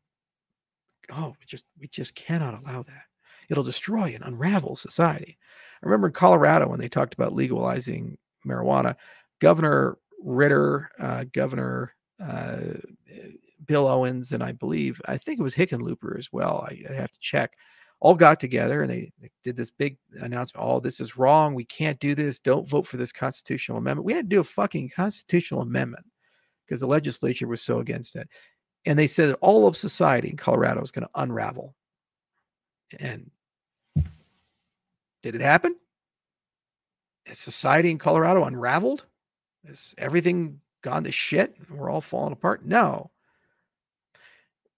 we sometimes have to take our freedoms back because there's a group of people that get really, really comfortable with taking stuff away from us and then giving us a little bit back and saying, look at what I did for you. It's like when Biden is just saying, oh, well, we're going to move pot from schedule one to schedule three. It should be unscheduled. It's a weed, it grows in your backyard. Don't go love the man just because he beat you five times instead of 10 times. Maybe you get in a different relationship where they never beat you. Yeah, I'm sorry, it's just not okay. And uh, there's this is just a microcosm of a macro. I mean, psychedelics are another example of that. Just in California, Gavin Newsom vetoes the decriminalization of them with some bullshit reason. That's a uniparty, one party control. The Democrats run everything in California. So you mean to tell me that when the legislature is going to pass a law they don't synchronize and talk with the governor before they pass to understand what his opinion is to see if he's going to veto or not. And if he has problems in the bill, they're not going to resolve that in a closed room. It's all political theater because at the end of the day, the people he works for, Big Pharma, basically told him we can't allow a substance to be legalized that can get people off of SSRIs, that can cure stuff that we make billions of dollars treating every year. Do everything in your power to keep it down. That's the reality. And it's bipartisan. Republicans do it too, because you know, they work for the same people at the end of the day. And these things that either expand your mind or reduce your stress or other stuff or allow you to look at the world differently, those are the things they make illegal first, not because they're harmful. Certainly, plenty of things to be harmful about it, but then there's proportionality. We're going to let you buy guns and we're going to let you smoke and we're going to let you work in uranium mines and let you work as a crab fisherman and offshore oil rigs and go to war. But then you're not capable of making a decision how to regulate a substance Really? Really? That's that's what you're gonna just tell all of us in 2023? We're just so stupid we can't handle that as people, but you're so smart you can. And we're just gonna take our opiates and that'll that'll get us where we need to go, all because it makes Pfizer money. You know, it's uh it's pretty sad uh, that we're here, but that's the consequence of corporatism and why we must get rid of it. This is a True statement right here. The U.S. is not, never has been, and never will be a Christian nation. True statement. The U.S., what made us special wasn't that we aspired to be a Christian nation. What made us special is we were a nation, you're free to be a Christian. That's the part you guys usually miss. The freedom of religion is a bedrock principle of the United States. And the founding fathers were deeply religious people. It would have been very easy to create a state church, just like the Church of England. They could have created the Church of the United States, and it would have probably gotten its way through because, like, everybody was a Christian. They all went. But they made us free to be a Christian in the United States. And freedom of religion is a foundational negative right that has to be enshrined and protected uh, wherever we go.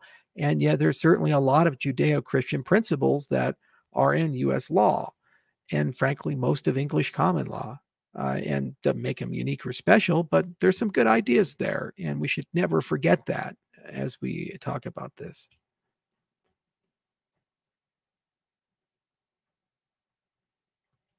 How do you feel about Ethgate and how uh, Cardano is the solution to these types of problems? You know, what's the most interesting thing about Ethgate is we've always been talking about two separate things entirely. And there's never a reconciliation because there's never an acknowledgement that we're talking about two separate things. When they talk about Ethgate on the other side of the aisle, they're talking about, okay, people use connections and relationships and perhaps money to convince insiders in the government to go easy on Ethereum. Probably happen. Who knows? Hard to say. There's obviously a lot of people digging in that well. And it's like, does a bear shit in the woods? So you're telling me T Mobile when it wants to buy Sprint, doesn't find ways to make the FCC and the FTC and others a little happier about that. That's how America does business. It's wrong. It shouldn't happen, but that's how that happens. And we're surprised that our own industry started learning that, that Joe Lubin figured some stuff out. Okay. I mean, uh, let's let's be real about it. We're adults. We can have a real conversation. I know the media can't, and, and, I know we're not supposed to say these things, but I, I always try to just keep it honest with you because I just don't give a shit anymore. That happens. And you know what? If you've discovered evidence of it, hopefully somebody somewhere can do something about it. So that's usually what they talk about with Ethgate. And then I said one thing, just one thing, grand conspiracy, which is the other thing. And that other thing is people from the Ethereum side bribed the Securities Exchange Commission to go after XRP. These are very different things.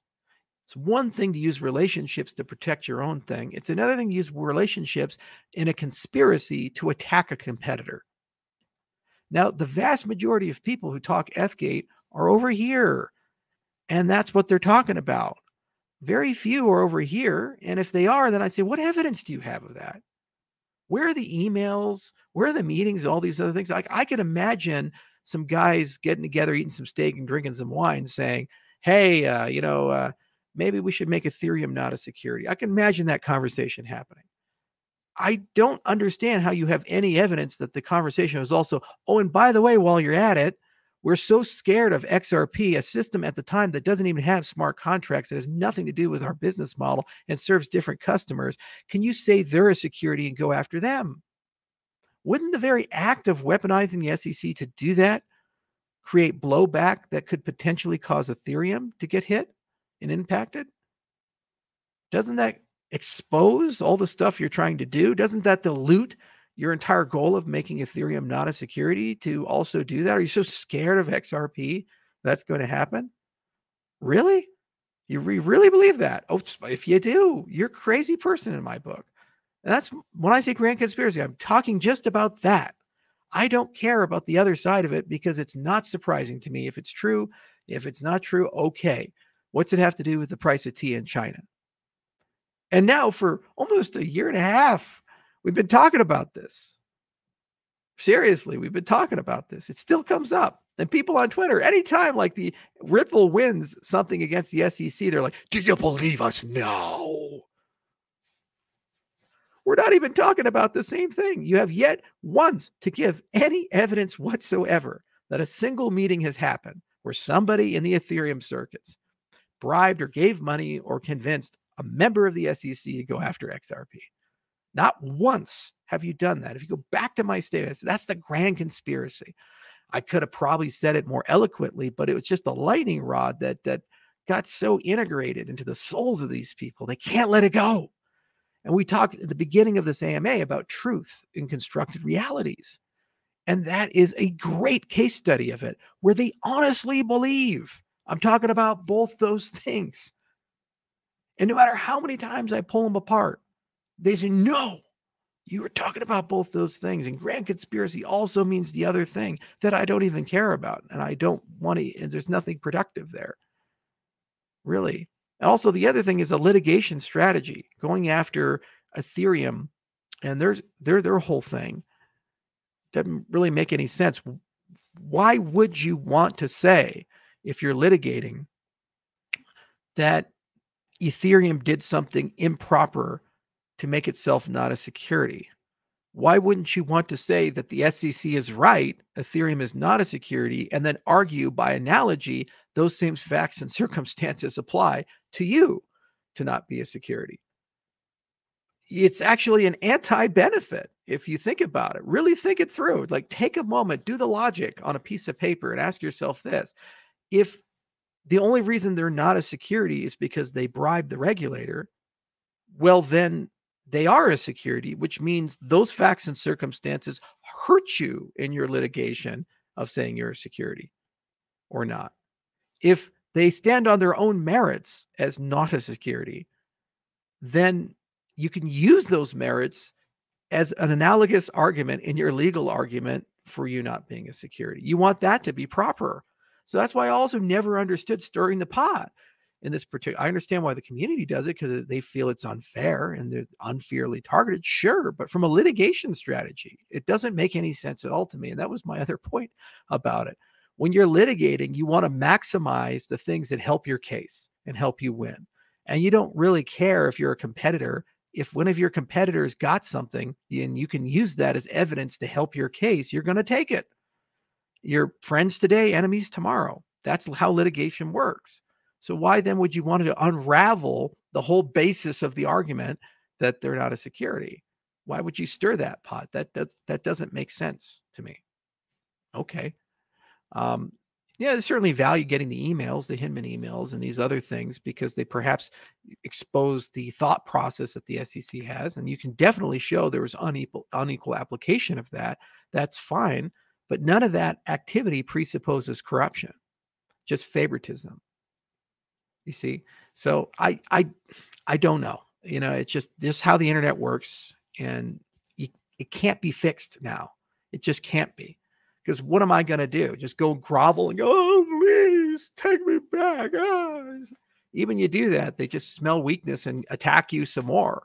And then I, I use reason and logic like I did right here. And they just go, neener, neener, neener. I can't hear anything. No, it's the same thing. It's like no one on that side is convinced with this rant right here. No one.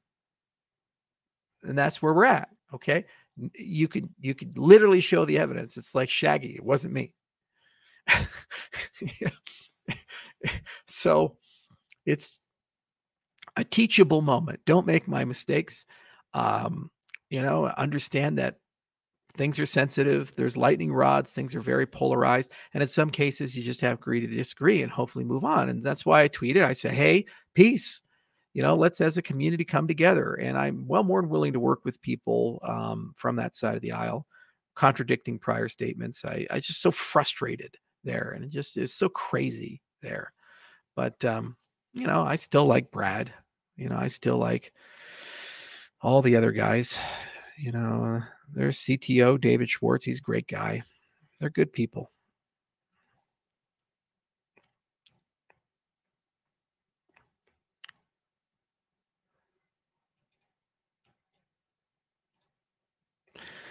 I hold Ada, but thinking to sell after hearing him now. What about that? you can't win, kids. You can't win.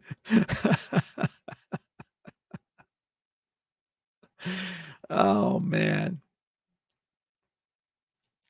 probably the best uh, CS book um, for people learning computer science is Structure Interpretation of Computer Programs. It's been rewritten multiple times and coming in through the Lisp style approach, data driven approach is a really good way of learning how to program.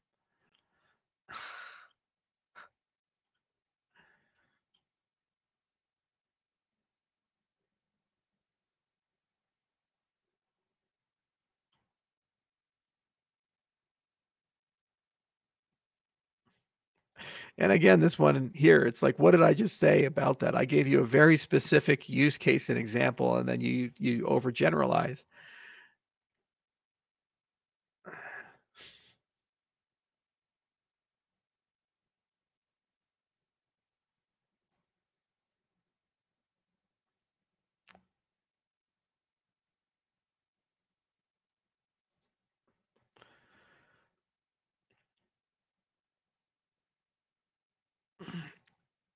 Charles, I'm 400 pounds and have no skills. Can I live on your ranch as a buffalo?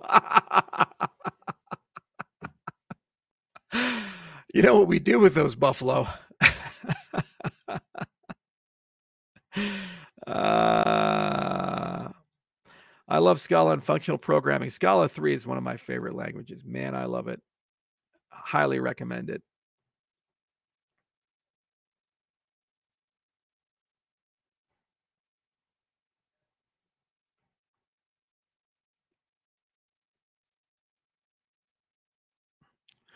Did you or did you not call XRP holders crazy when they mention Ethgate?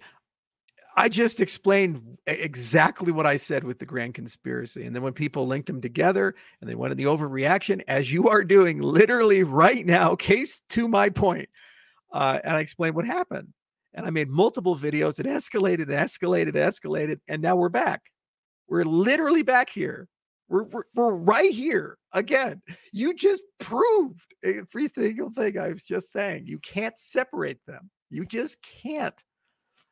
I never once said your thoughts about Hinman or these other things, Ethgate, are a conspiracy.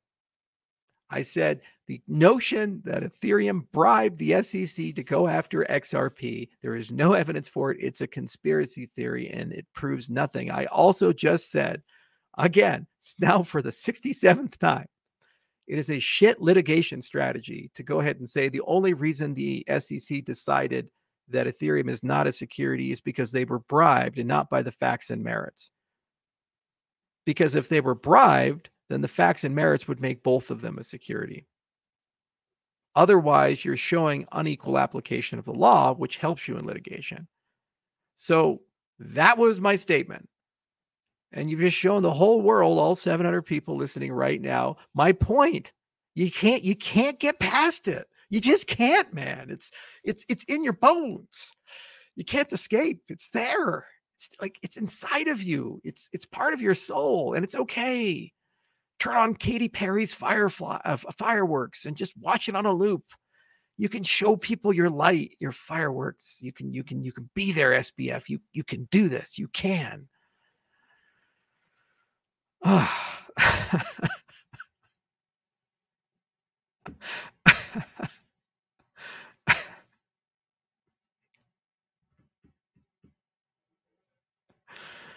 man.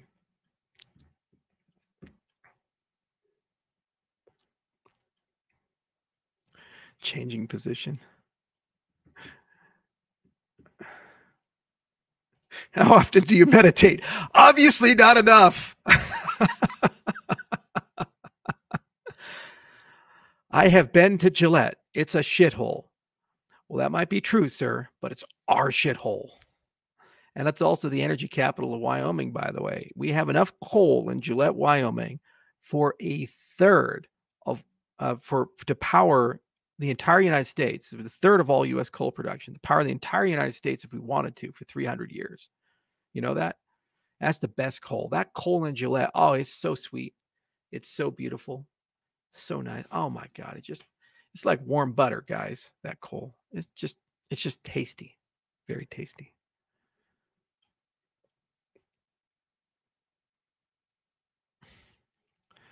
They pushing your button, man. No, it's not the guy. That guy actually believes it. I uh, I'm gonna give him the benefit of the doubt. He really does believe it. It's it's it's part of his soul. It's inside of him. Again, we're just gonna have to watch fireworks. Katy Perry. We're Katy Perrying the shit. Do you play Diablo 4? Nobody plays Diablo 4. they have like five users now. Somebody please make a clip montage of this AMA. Oh, there's a lot of good materials in this one. You guys got to do it.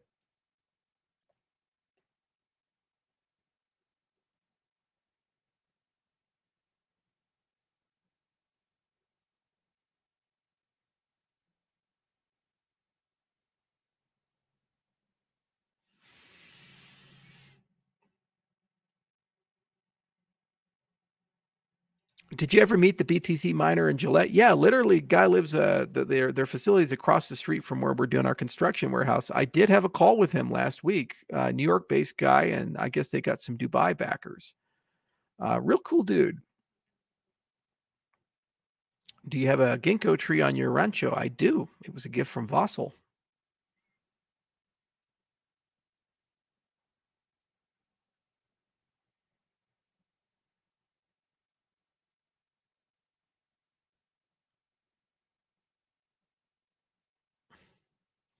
Your opinions on private versus public chains. I think they should all be public. Uh, but I do believe that you can merge consensus together and have part of your consensus be a federated quorum. That's the point of uh, Midnight. But public is one out. R3's learned that. Fabric has learned that. These other guys have learned that.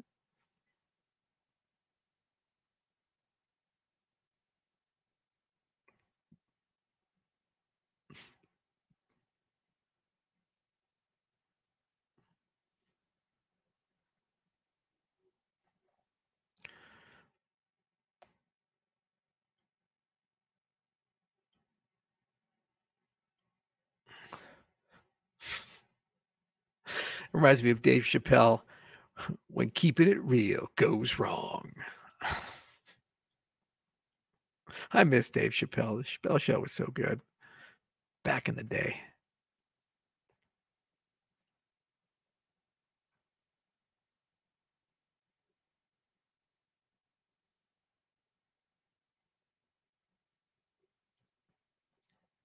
I know you don't like patents for aging tech. Are you're avoiding patents?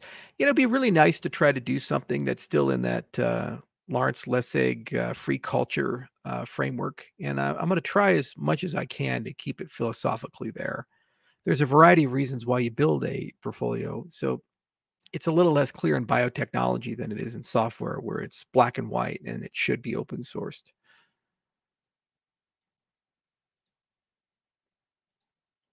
That headline will mention your quote unhinged rant. This is the media too. Every time I tweet something, an AI generated article comes out like 30 minutes later. Unhinged rant from Charles Hoskinson. Best city to live in Japan, Osaka. Kansai Jin, man. Do you play Baldur's Gate 2? Baldur's Gate 2 is one of the best games ever made.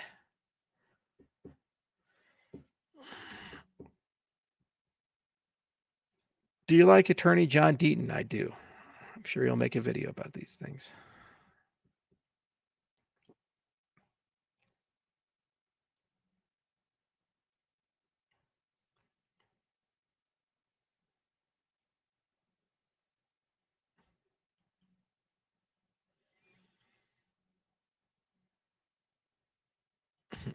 Yeah, you notice. It's the backroom casting couch, huh? Huh? Yeah, this guy, he's he's he's paying attention. He noticed. The people who furnished the office bought that as a parody for me, and I didn't know for an entire year until somebody made a meme and they sent me a picture. That person no longer works here.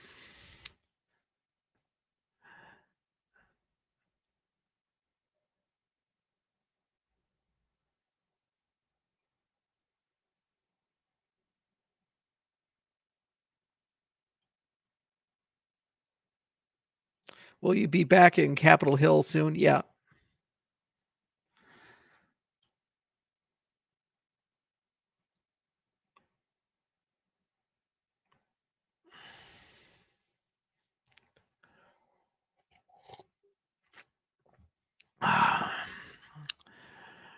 I, I literally own a chocobo. Like I have a company making an actual chocobo.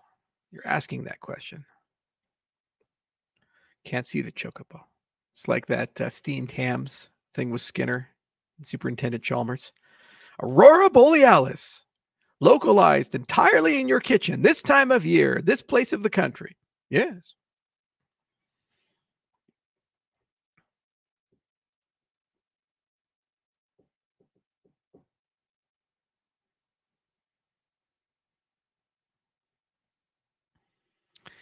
Uh, so my beard plan is uh, very much like uh, Castaway. I just let it grow and get shaggy, and at some point, people rescue me and they shave me. That's what we do.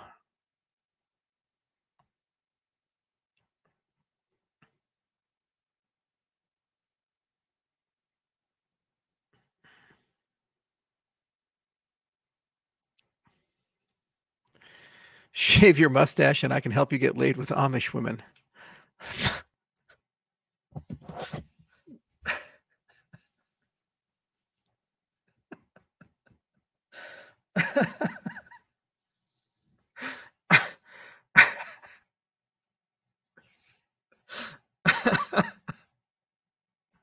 Oh God.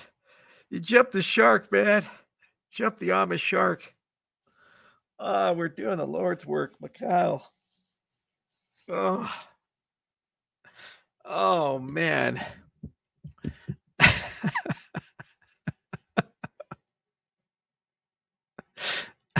but they're not allowed to watch. we got them. They can't use technology. They would be watching in sin. but don't worry, a strongly worded newspaper will work its way on horseback to them. and they'll write a strongly worded letter back that you guys will read off to me. Oh God. Ah.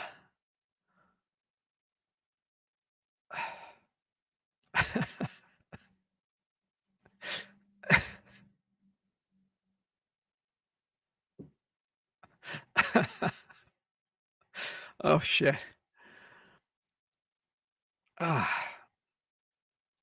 Are saltwater batteries a no-brainer for energy storage? Maybe kind of sorta. Who knows? Yes, no.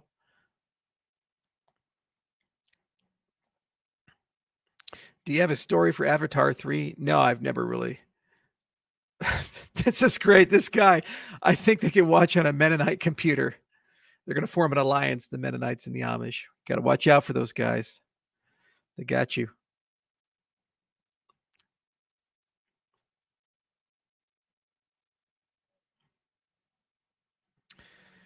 Can you talk a bit about Cardano's current relationship to academia and any involved programs? Uh, Stanford relationship, CMU relationship, the University of Wyoming relationship. There's dozens of these things across the world. You have to be more specific. How old are you? 35, if you believe the internets.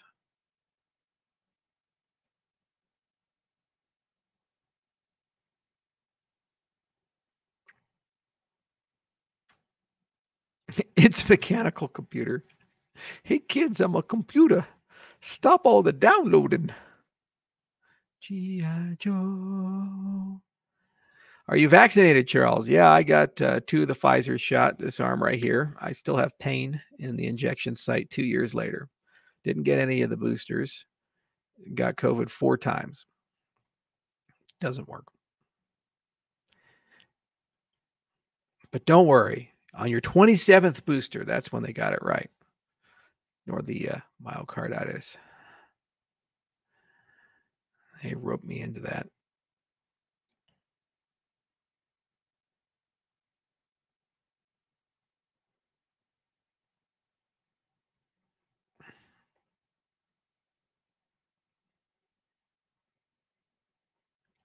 Have you asked ChatGPT to give you a computational definition of free will looking through the lens of cellular automata?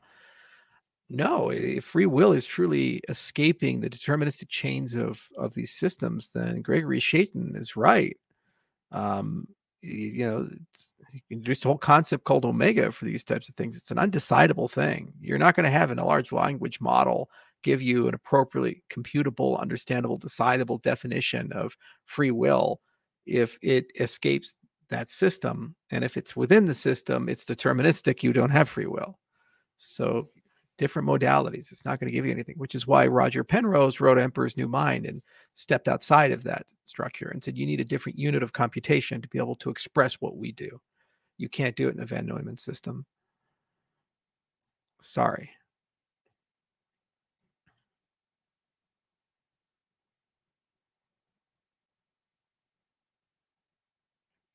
Got to meet Roger one of these days. This is still going. Wow. Yes, I am. What's your favorite song? Right now, it's "Hurt" from Johnny Cash. after that, after that Amish shit and the scrotal beard, there's no going back. We are, we're, we're just going crazy. I don't know what's going on.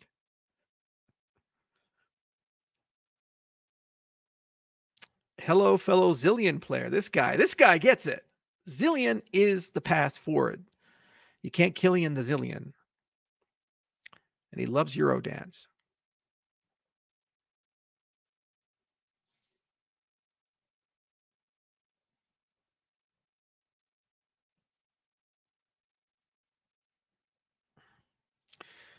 Charles, could you fund someone at the end of your AMA like you used to at the end of the AMAs uh, will be a nice treat for someone in the world at the moment. You know, that's actually a really good idea. Let's see if I have some uh, credits still with Kiva. Just a moment. Actually, we'll do this through John's company after everything all gets set up. That's actually the reason we created it is that I wanted Kiva on a blockchain. So let's go ahead and sign in real quick and let's see if my account is still there. Ah, we have 1800 bucks. How about that? All right, present uh, screen share. We're going to do a Brave tab and uh, loans that change lives. All right. Wow. You guys should see that. All right. So this is my Kiva account and I have available to loan $1,018 and I've done about $2,000 in outstanding loans. So let's take a look at somebody in the world. So we're going to go lend by region. All right, there's North America, Central America, South America, Africa, Eastern Europe, Middle East, Asia, Oceania. So where should we go today? Let's do, let's see what's in the Middle East. Uh, Israel, Jordan, Palestine, Turkey. How about Jordan? Let's see what's floating around in Jordan. I was actually just in Jordan last year. I went to Wadi Rum.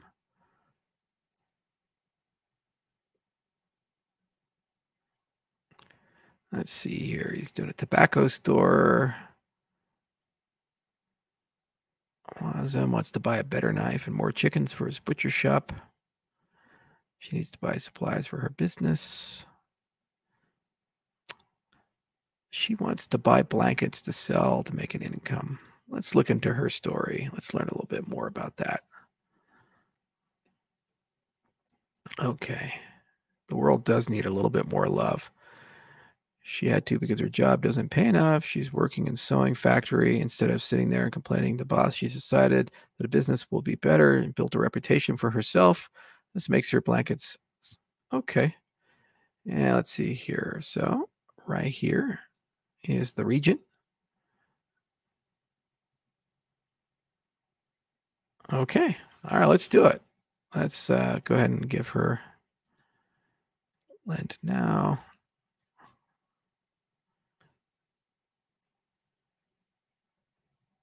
And uh, let's see here. Continue to check out. And what we're going to do is stop the screen share for the checkout process. And what we're going to do is complete her loan. So I need to give her a little bit more. There we go, the 725. Kiva credit, all that stuff. Complete order.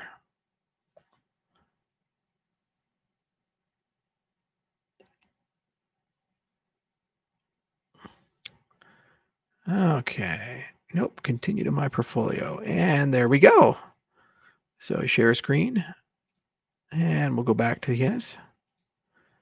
Let's take a look at how the portfolio is going. I've lended a total amount of $15,000. And now she's completely funded.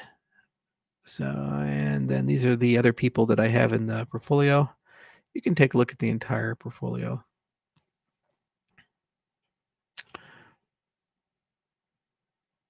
How about that, huh? Yeah. And that's why we do what we do. You know, um, I hope we can do all this on a blockchain one day, you know, return to something a little bit serious. Um, it's not a lot of money for me, but it, it means the world for her. And if we can create a situation where all those middlemen get stripped out, because she's not going to just repay uh, what I put in, there's middlemen that have to be paid. And it sometimes is a 35 to 85% interest. Uh, and, you know, if we can strip them out, then everybody would just do it because it makes a little money on the side and billions of dollars of capital will go. And I really do hope that uh, she actually is successful and builds a great business and she's able to sell a lot of blankets and able to take care of her kids and family. And we'll find out and they do pay those loans back. I've lent fifteen thousand dollars so far, and about thirteen hundred dollars, uh, thirteen thousand has been uh, has been uh, repaid. So on average, if you have the right networks and the right people, and you vet the right loans, the repayment rates are pretty good. Uh, and that's actually what John's exploring with the whole RealFi Co. and trying to bring that to the blockchain space. So we never lost Kiva, and thank you for reminding me that. That's pretty cool. And uh, you know, remind me a year from now. I'll go and check and see where that loan's at, and also, it'd be really cool if I'm ever in Jordan to see how her business is. All right, I'm gonna go get some lunch and uh, and call it. Thank you all for participating. This has been a wild one. We've had a lot of fun. Uh, we've really enjoyed it.